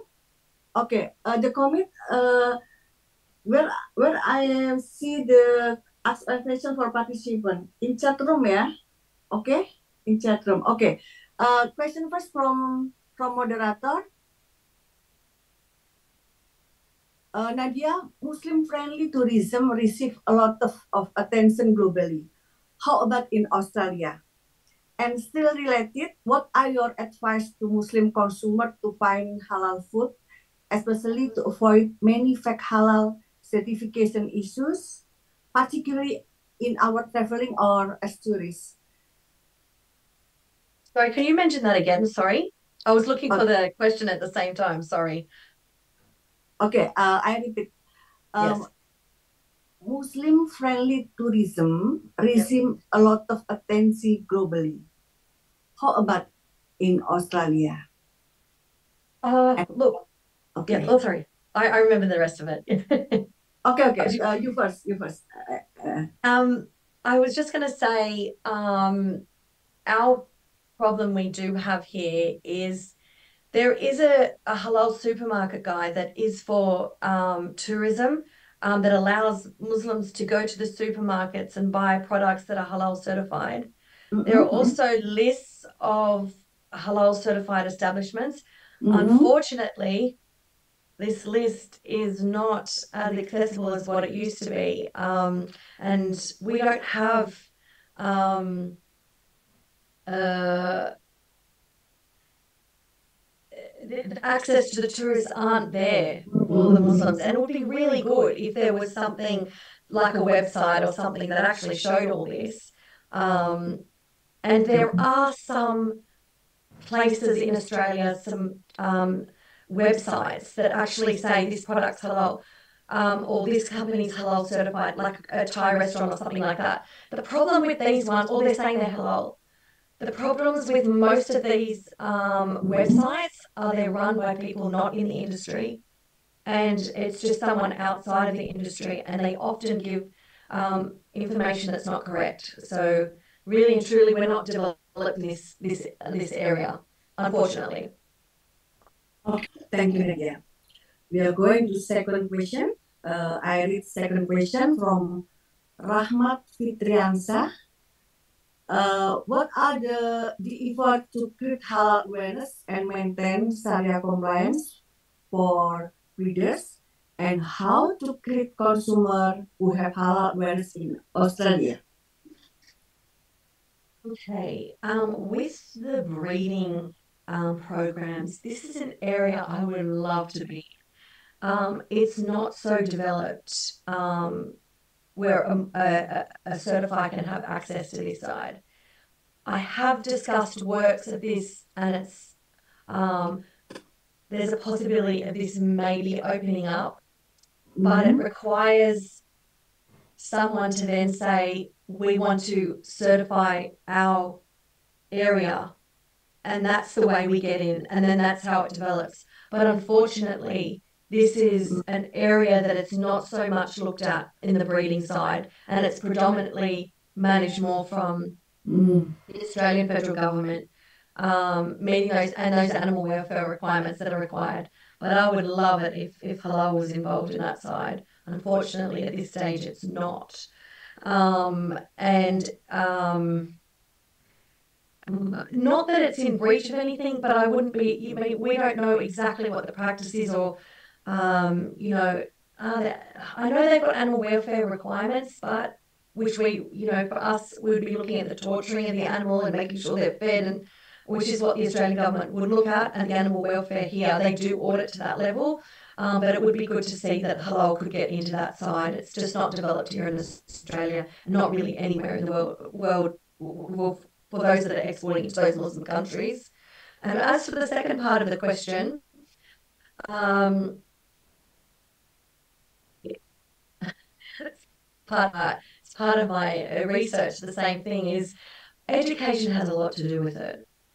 Um, I would say a lot of the information that a certifier or a government, um, such as uh, JAKIM or um, US or something, have they have these capabilities. Um, sorry, they have all the knowledge. Um, back 30 years ago, the certifier was closer to the consumer, whereas now we're further away because we're closer to the government and what's required of us and those standards. And it's now a separation between the client, like say the consumer, and the certifier now. So it would probably need to be way more education and a lot of public stuff that would need to be out there now um, whether that be on certified websites, government websites, pamphlets, education centres, universities.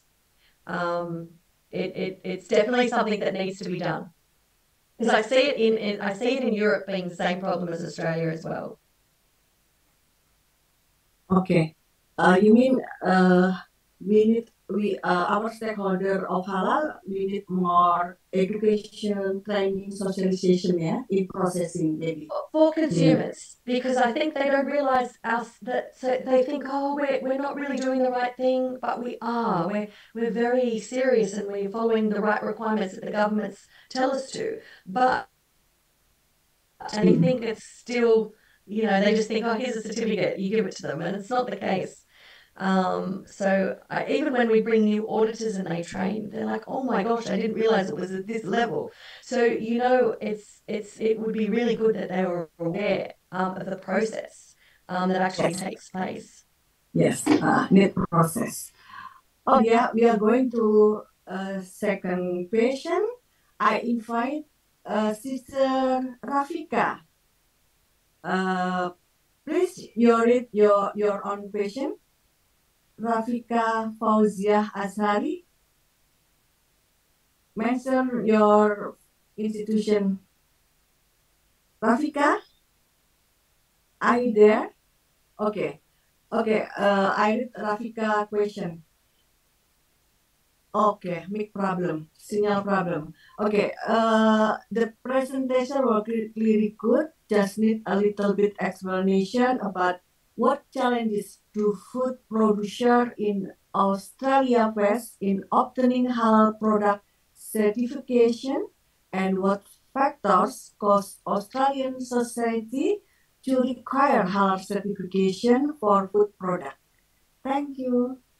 And you're saying was that with the was it for food production? Was that did I hear the word food production in that? Or could you show sorry. Yeah, it will just change the way I answer it. Okay, okay. Uh, maybe you there was a word in there I couldn't hear. Mm-mm. Or do you want to say the question again and then I'll say okay, okay, okay, okay. Yeah. I repeat. I repeat. You you need. Yeah. I repeat. Okay. Uh, what challenges food producer in Australia face? What was that word? Food what? Production. Food producer. Yeah. Pro- yeah, production. Okay, okay, okay. Oh, yeah, yeah. Okay. Uh, for in food industry maybe yeah, food yeah. industry. Mm -hmm. Uh, that Australia face in obtaining for obtaining halal product certification. That's it. Oh, okay. Um, you, mm-hmm. so you're talking about the food establishments, what they need to do to gain uh, certification. Is that clear? Yes, uh, what challenges uh, food industry have to, uh, to, to obtain to get to get halal certification in Australia? Uh, That's an excellent maybe, question. Yeah, uh, cover in Indonesia, many many documented, many document, many uh, long process, uh, product and governance. Uh, how about in Australia? Is it right way or no. clear navigation? yeah. okay. It it it all depends on your your your products, obviously your ingredients, but it's the same like Indonesia. It it, it can have a lot of documentation. Mm-hmm. Ooh, have I um, but um, I know for my uh, industry, like our um, certification body, we we've tried to reduce the paperwork seventy percent down mm-hmm. lower. Mm-hmm. Um, that allowed um, mm-hmm. them to put their products and ingredients in and their halal certificate. Because the problem the client has is they have to reapply every year to make sure that the products and ingredients, if they're doing it manually, this is an extensive process. So um, for me, the way I reduce that is to that they have products and ingredients all the time and they just keep changing the halal certificate. So this makes it easier. So you're not producing all the products and ingredients to the person every single time with the halal certificates and the food specs and everything else. So, but another challenge is that we have in Australia that might be different is that a client will go want to go to many markets, and not every certifier has all markets. So they have to get two certifiers, or they might have to get three certifiers to get to the whole world. If uh, and this can be uh, expensive for a certifier, uh, sorry, for a client. So this is the main issue um, of, of, of, of wanting to make sure that they can get into the market that they want. So this is an issue that we've had for a, a long time. It's starting to change because as the government start to change the way that they're doing things, it's changing the way the certification companies. So we're finding more certifiers have more markets now, so which which, which wasn't the case before. Okay, uh, you mean uh, in processing tool heading to user friendly yeah, for for halal industry yeah, Yes. heading yes. to user friendly and improve improve by improve. Yeah. Uh, yeah, okay. Okay. Uh, next question. On behalf all participation uh, question. Uh, this is question. Uh, are you uh your institution, Nadia? Are your institution an independent organization or a government organization? Um, in Australia, so I'm a private institution, or a private uh, company. Um, so in Australia, um, none of us can be government, um, and the I'm government sorry, can't- particularly your your your bodies, your your, your Private. institution. Uh, private. So we have to, um, we have to, our requirement is if we're private, we have to pay huge tax and we have to pay, we have to pay charity so, so that we can meet the Muslim government, uh, Muslim government requirements. Whereas the other bodies will be maybe charity, um, and they don't have to pay the tax. But we like to show the government all our, all our tax, whereas a charity is very different.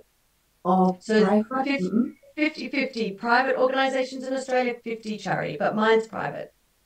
Oh, okay, okay. Private, but tax and charity, Charity. uh, running, yeah. Okay, okay. And then, uh, next question. Uh, Indonesia is one of the largest partner in halal business with Australia. Uh, you said. What are your message to halal producers? Why should they do halal business in globalization era and digital era right now? Muslims are the biggest market in the world to me. I, I feel like we're a quarter of the world's Mhm. population. Oh, sorry, if I answered that correctly? Uh, I repeat, unit, I repeat. No, no, no, no. I was just saying, am I heading down the right way? I was just saying the reason um, why someone would uh, you'd want to is because Muslims are a quarter of the world's population. It, it'd be silly not to enter into that um, industry Mm. at all. Oh, okay, okay. And yeah, you said uh, many combined requirement in this halal certification, and industry need more providing training, socialization, and education. The question: How do you inform and support your client with understanding halal compliant requirements? Refer uh, Australia is non-Muslim country. Great question. So personally, Okay. uh, I um, we have written uh, manuals that are very specific for our clients, and they Mhm. not only have the standard in it, but the controls that are required to make that standard happen. And when our auditors go out, we're able to explain the reason why um, which really assists because most of the time a non-Muslim um, person it doesn't understand why. They just think you're pushing, you just want this. No, uh, the reason why is because we want this. Um, I also send out emails to our clients when there's been any changes to standard, and then I let them know that this has been changed in this manual. Um, actually, we actually send continual emails to our clients so that they're kept abreast of everything, and we have an open dialogue with our clients. I mean, Mm. um, unfortunately, being a certifier, it's like a 24 hour gig. So, um, you know, clients do call you and say, this is what's going on, um, or can I do this? So, yes, it, it's, I always say to our staff, um, even though we're in this business of certification, it's all dawah because all of our clients are non-Muslim. So everything you do must be informative for them and clear to them. Um, so we like it that um, our biggest referring of clients is our client referrals because um, we you know we try to make it easy to stand to understand, and we like to make the process following um, the requirements for governments, mm-hmm. but simplifying the process because they don't understand as much as what we do. So what I mean by simplify the process is we've put a website together um, and the back end that they can see, and it's definitely way simpler um, than the processes that are going on at the moment. Um, but yes, th- that's that's the answer to the question. Okay. Uh, so challenges, so challenges in this part, yeah, for your yeah. uh, role in uh, Australia ecosystem halal business. And then uh, in other side, how about the non-Muslim in Australia? Are they interested in buying halal products, sister? It's a good question. This is my perf- my my best answer to this. All of them are eating halal certified products and they have no idea. Um, and I think predominantly most of the staple goods like dairy, cheese, milk, um, mm-hmm. sauces, and stuff like this in Australia are all their fridges will be full of halal goods, but they won't know that it's actually halal certified. So it, it's hard to get into the minds. I would love a research paper on this to see what their perspective is. Um, but uh, I think for the majority of Australians through that uh, anti halal campaign, most of the Australians uh, didn't they didn't mind if they were eating halal food. It was just this one percent right wing people that were like making a loud voice um, in that time. Okay, okay, Nadia. Uh, we we have still have Salsabila Hasna Basira. Uh, please, Salsabila, read your own question directly. Yes, I, I can. Okay. Um, sorry, I'm just, it is reflected in the brand reputation that obtains halal certification other ways. Oh, um, yeah, sorry. okay, okay, no problem. Uh, um, so, um, the I'm curious. Yep. Okay, okay, I read, yeah. Okay, I, I, I read. Oh, oh yep, oh, yep. I'm curious about how Australia measure the success or quality of halal certification in a product or company? Is it reflected in the brand reputation that obtain halal certification or in other ways? Um, the success in the quality would be based on the certifier making sure that the client has controls.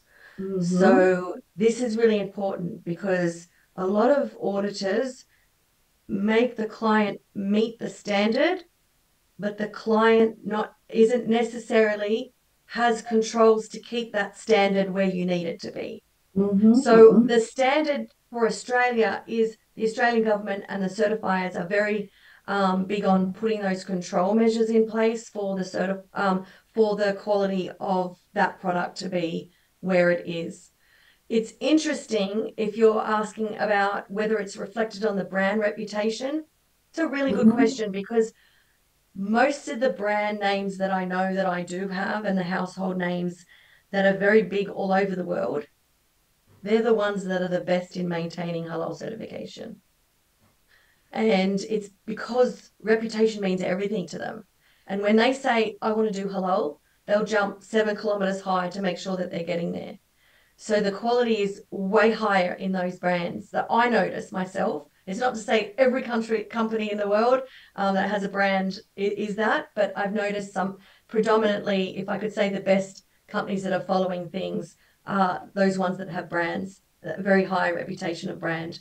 But I do know a lot of companies that are not big household names and they're meeting the exact same um, process. But I would say, on average, those brand names are the ones that are the better ones. Okay. Okay, uh, Sister Nadia and everyone. Uh, however, we need to end our discussion session due to limited time. Brother and sister, we have finally come to end part of this day. Uh, on this day three. Uh, but before I close the session, I would like to Nadia to give us some short closing remarks. Are there any final thoughts before we end today's session? Sister Nadia, please. Sure. I just wanted to say thank you so much for the opportunity. Um, it's it's often that we don't get to show, uh, you know, Australia is a lot more prolific in halal certification um, Mm-hmm. Than we're given credence for. But um, Indonesia is aware how big Australia is because of the halal certification.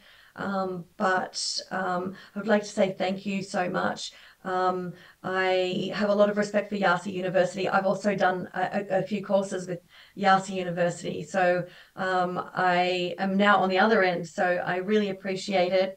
Um, and I wish every success to every person in this room. Um, and thank you so much. Okay, thank you for the concise closing remarks. And please allow me also to take some highlighted point from today's session. Summary from moderator. A product is considered halal if it passes inspection for key element. This element include the manufacturing process, facility audit, ingredient origins, whether they they come from a halal source, raw material and finished product storage and segregation, among other. Halal certifiers should be familiar with the latest international standards and properly understand the technical and religious criteria that govern halal food production. A valid certification would only be possible with a thorough documented understanding of this issue. Brother and sister, from Nadia, from Australia Halal Success Story, there is there are evidences before and after certification, export, the number of export and the number of workers increased sharply. And the global halal economy we uh, uh, we know uh, can enhancing uh, the global economic for recovery, sustainability, and excellence, inshallah. Thank you very much, Sister Nadia, for addressing this interesting topic and your valuable contribution. Thank you for sharing your experiences with us today and also being here with us today. It is truly inspiring for all of us. And we are always so pleased to receive and hear about the person behind the halal industry, particularly the one in charge of certification bodies. And today it's more special to have a lady in our webinar. Of course, and thank you to everyone, dear participant, my proud participant. We hope everyone has a good time and learn something new. We so appreciate your being with us today for all of you. Finally, jika ada sumur di ladang, boleh kita menumpang mandi. Jika ada umurku panjang, boleh dong kita jumpa lagi. Cakep. Cakep. Nadia, have you heard this rhyme before? No, Oh, okay. I'm sorry. please Yeah, don't. I, love make, it. Yeah, I make you curious. I'm sorry. Okay, okay. Let me tell you the meaning this rhyme. If there is a well in the field, may we take a bath. If there is a long life, May we meet again. Cakep. Oh, Masha Allah. Clear Nadia? Thank you. Oke. Oke. Wabillahi taufik wal hidayah. Wassalamualaikum warahmatullahi wabarakatuh. Alhamdulillahirabbil alamin. Jazakumullah khairan. Season return to MC for further announcement. Wassalamualaikum warahmatullahi wabarakatuh. Thank you very much. Waalaikumsalam warahmatullahi wabarakatuh. Thank you for Mrs. Ani Setianingrum MESY for leading session and thank you for Mrs. Nadia El Mulhi PhD for delivering interesting presentation. Hopefully all the participants can implement the material into their life. And also thank you to the audience for being active participants. Ladies and gentlemen, we are closer to the end of agenda, but before we close this agenda, we would like to have the photo session of today's summer school. So today we have five slides and we will count down for each slide. Okay. Uh, don't forget to open the camera for participants. Okay, I will count down right now. So one, two, three. Say cheese. One. Next slide. One, two, three. Okay, the third slide. One, two, three. And the fourth. One, two, three. And the last slide. One, two, three. Alright, thank you to all the participants. Well, we are coming to the end of agenda. To close this summer school today, let us recite Hamdalah together. Alhamdulillahirabbil alamin. Ladies and gentlemen, thank you for joining us today.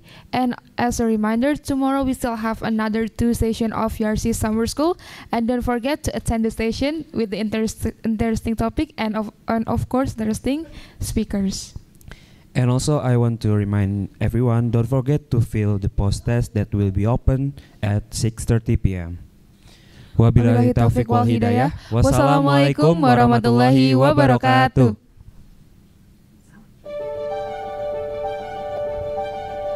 Thank you Nadia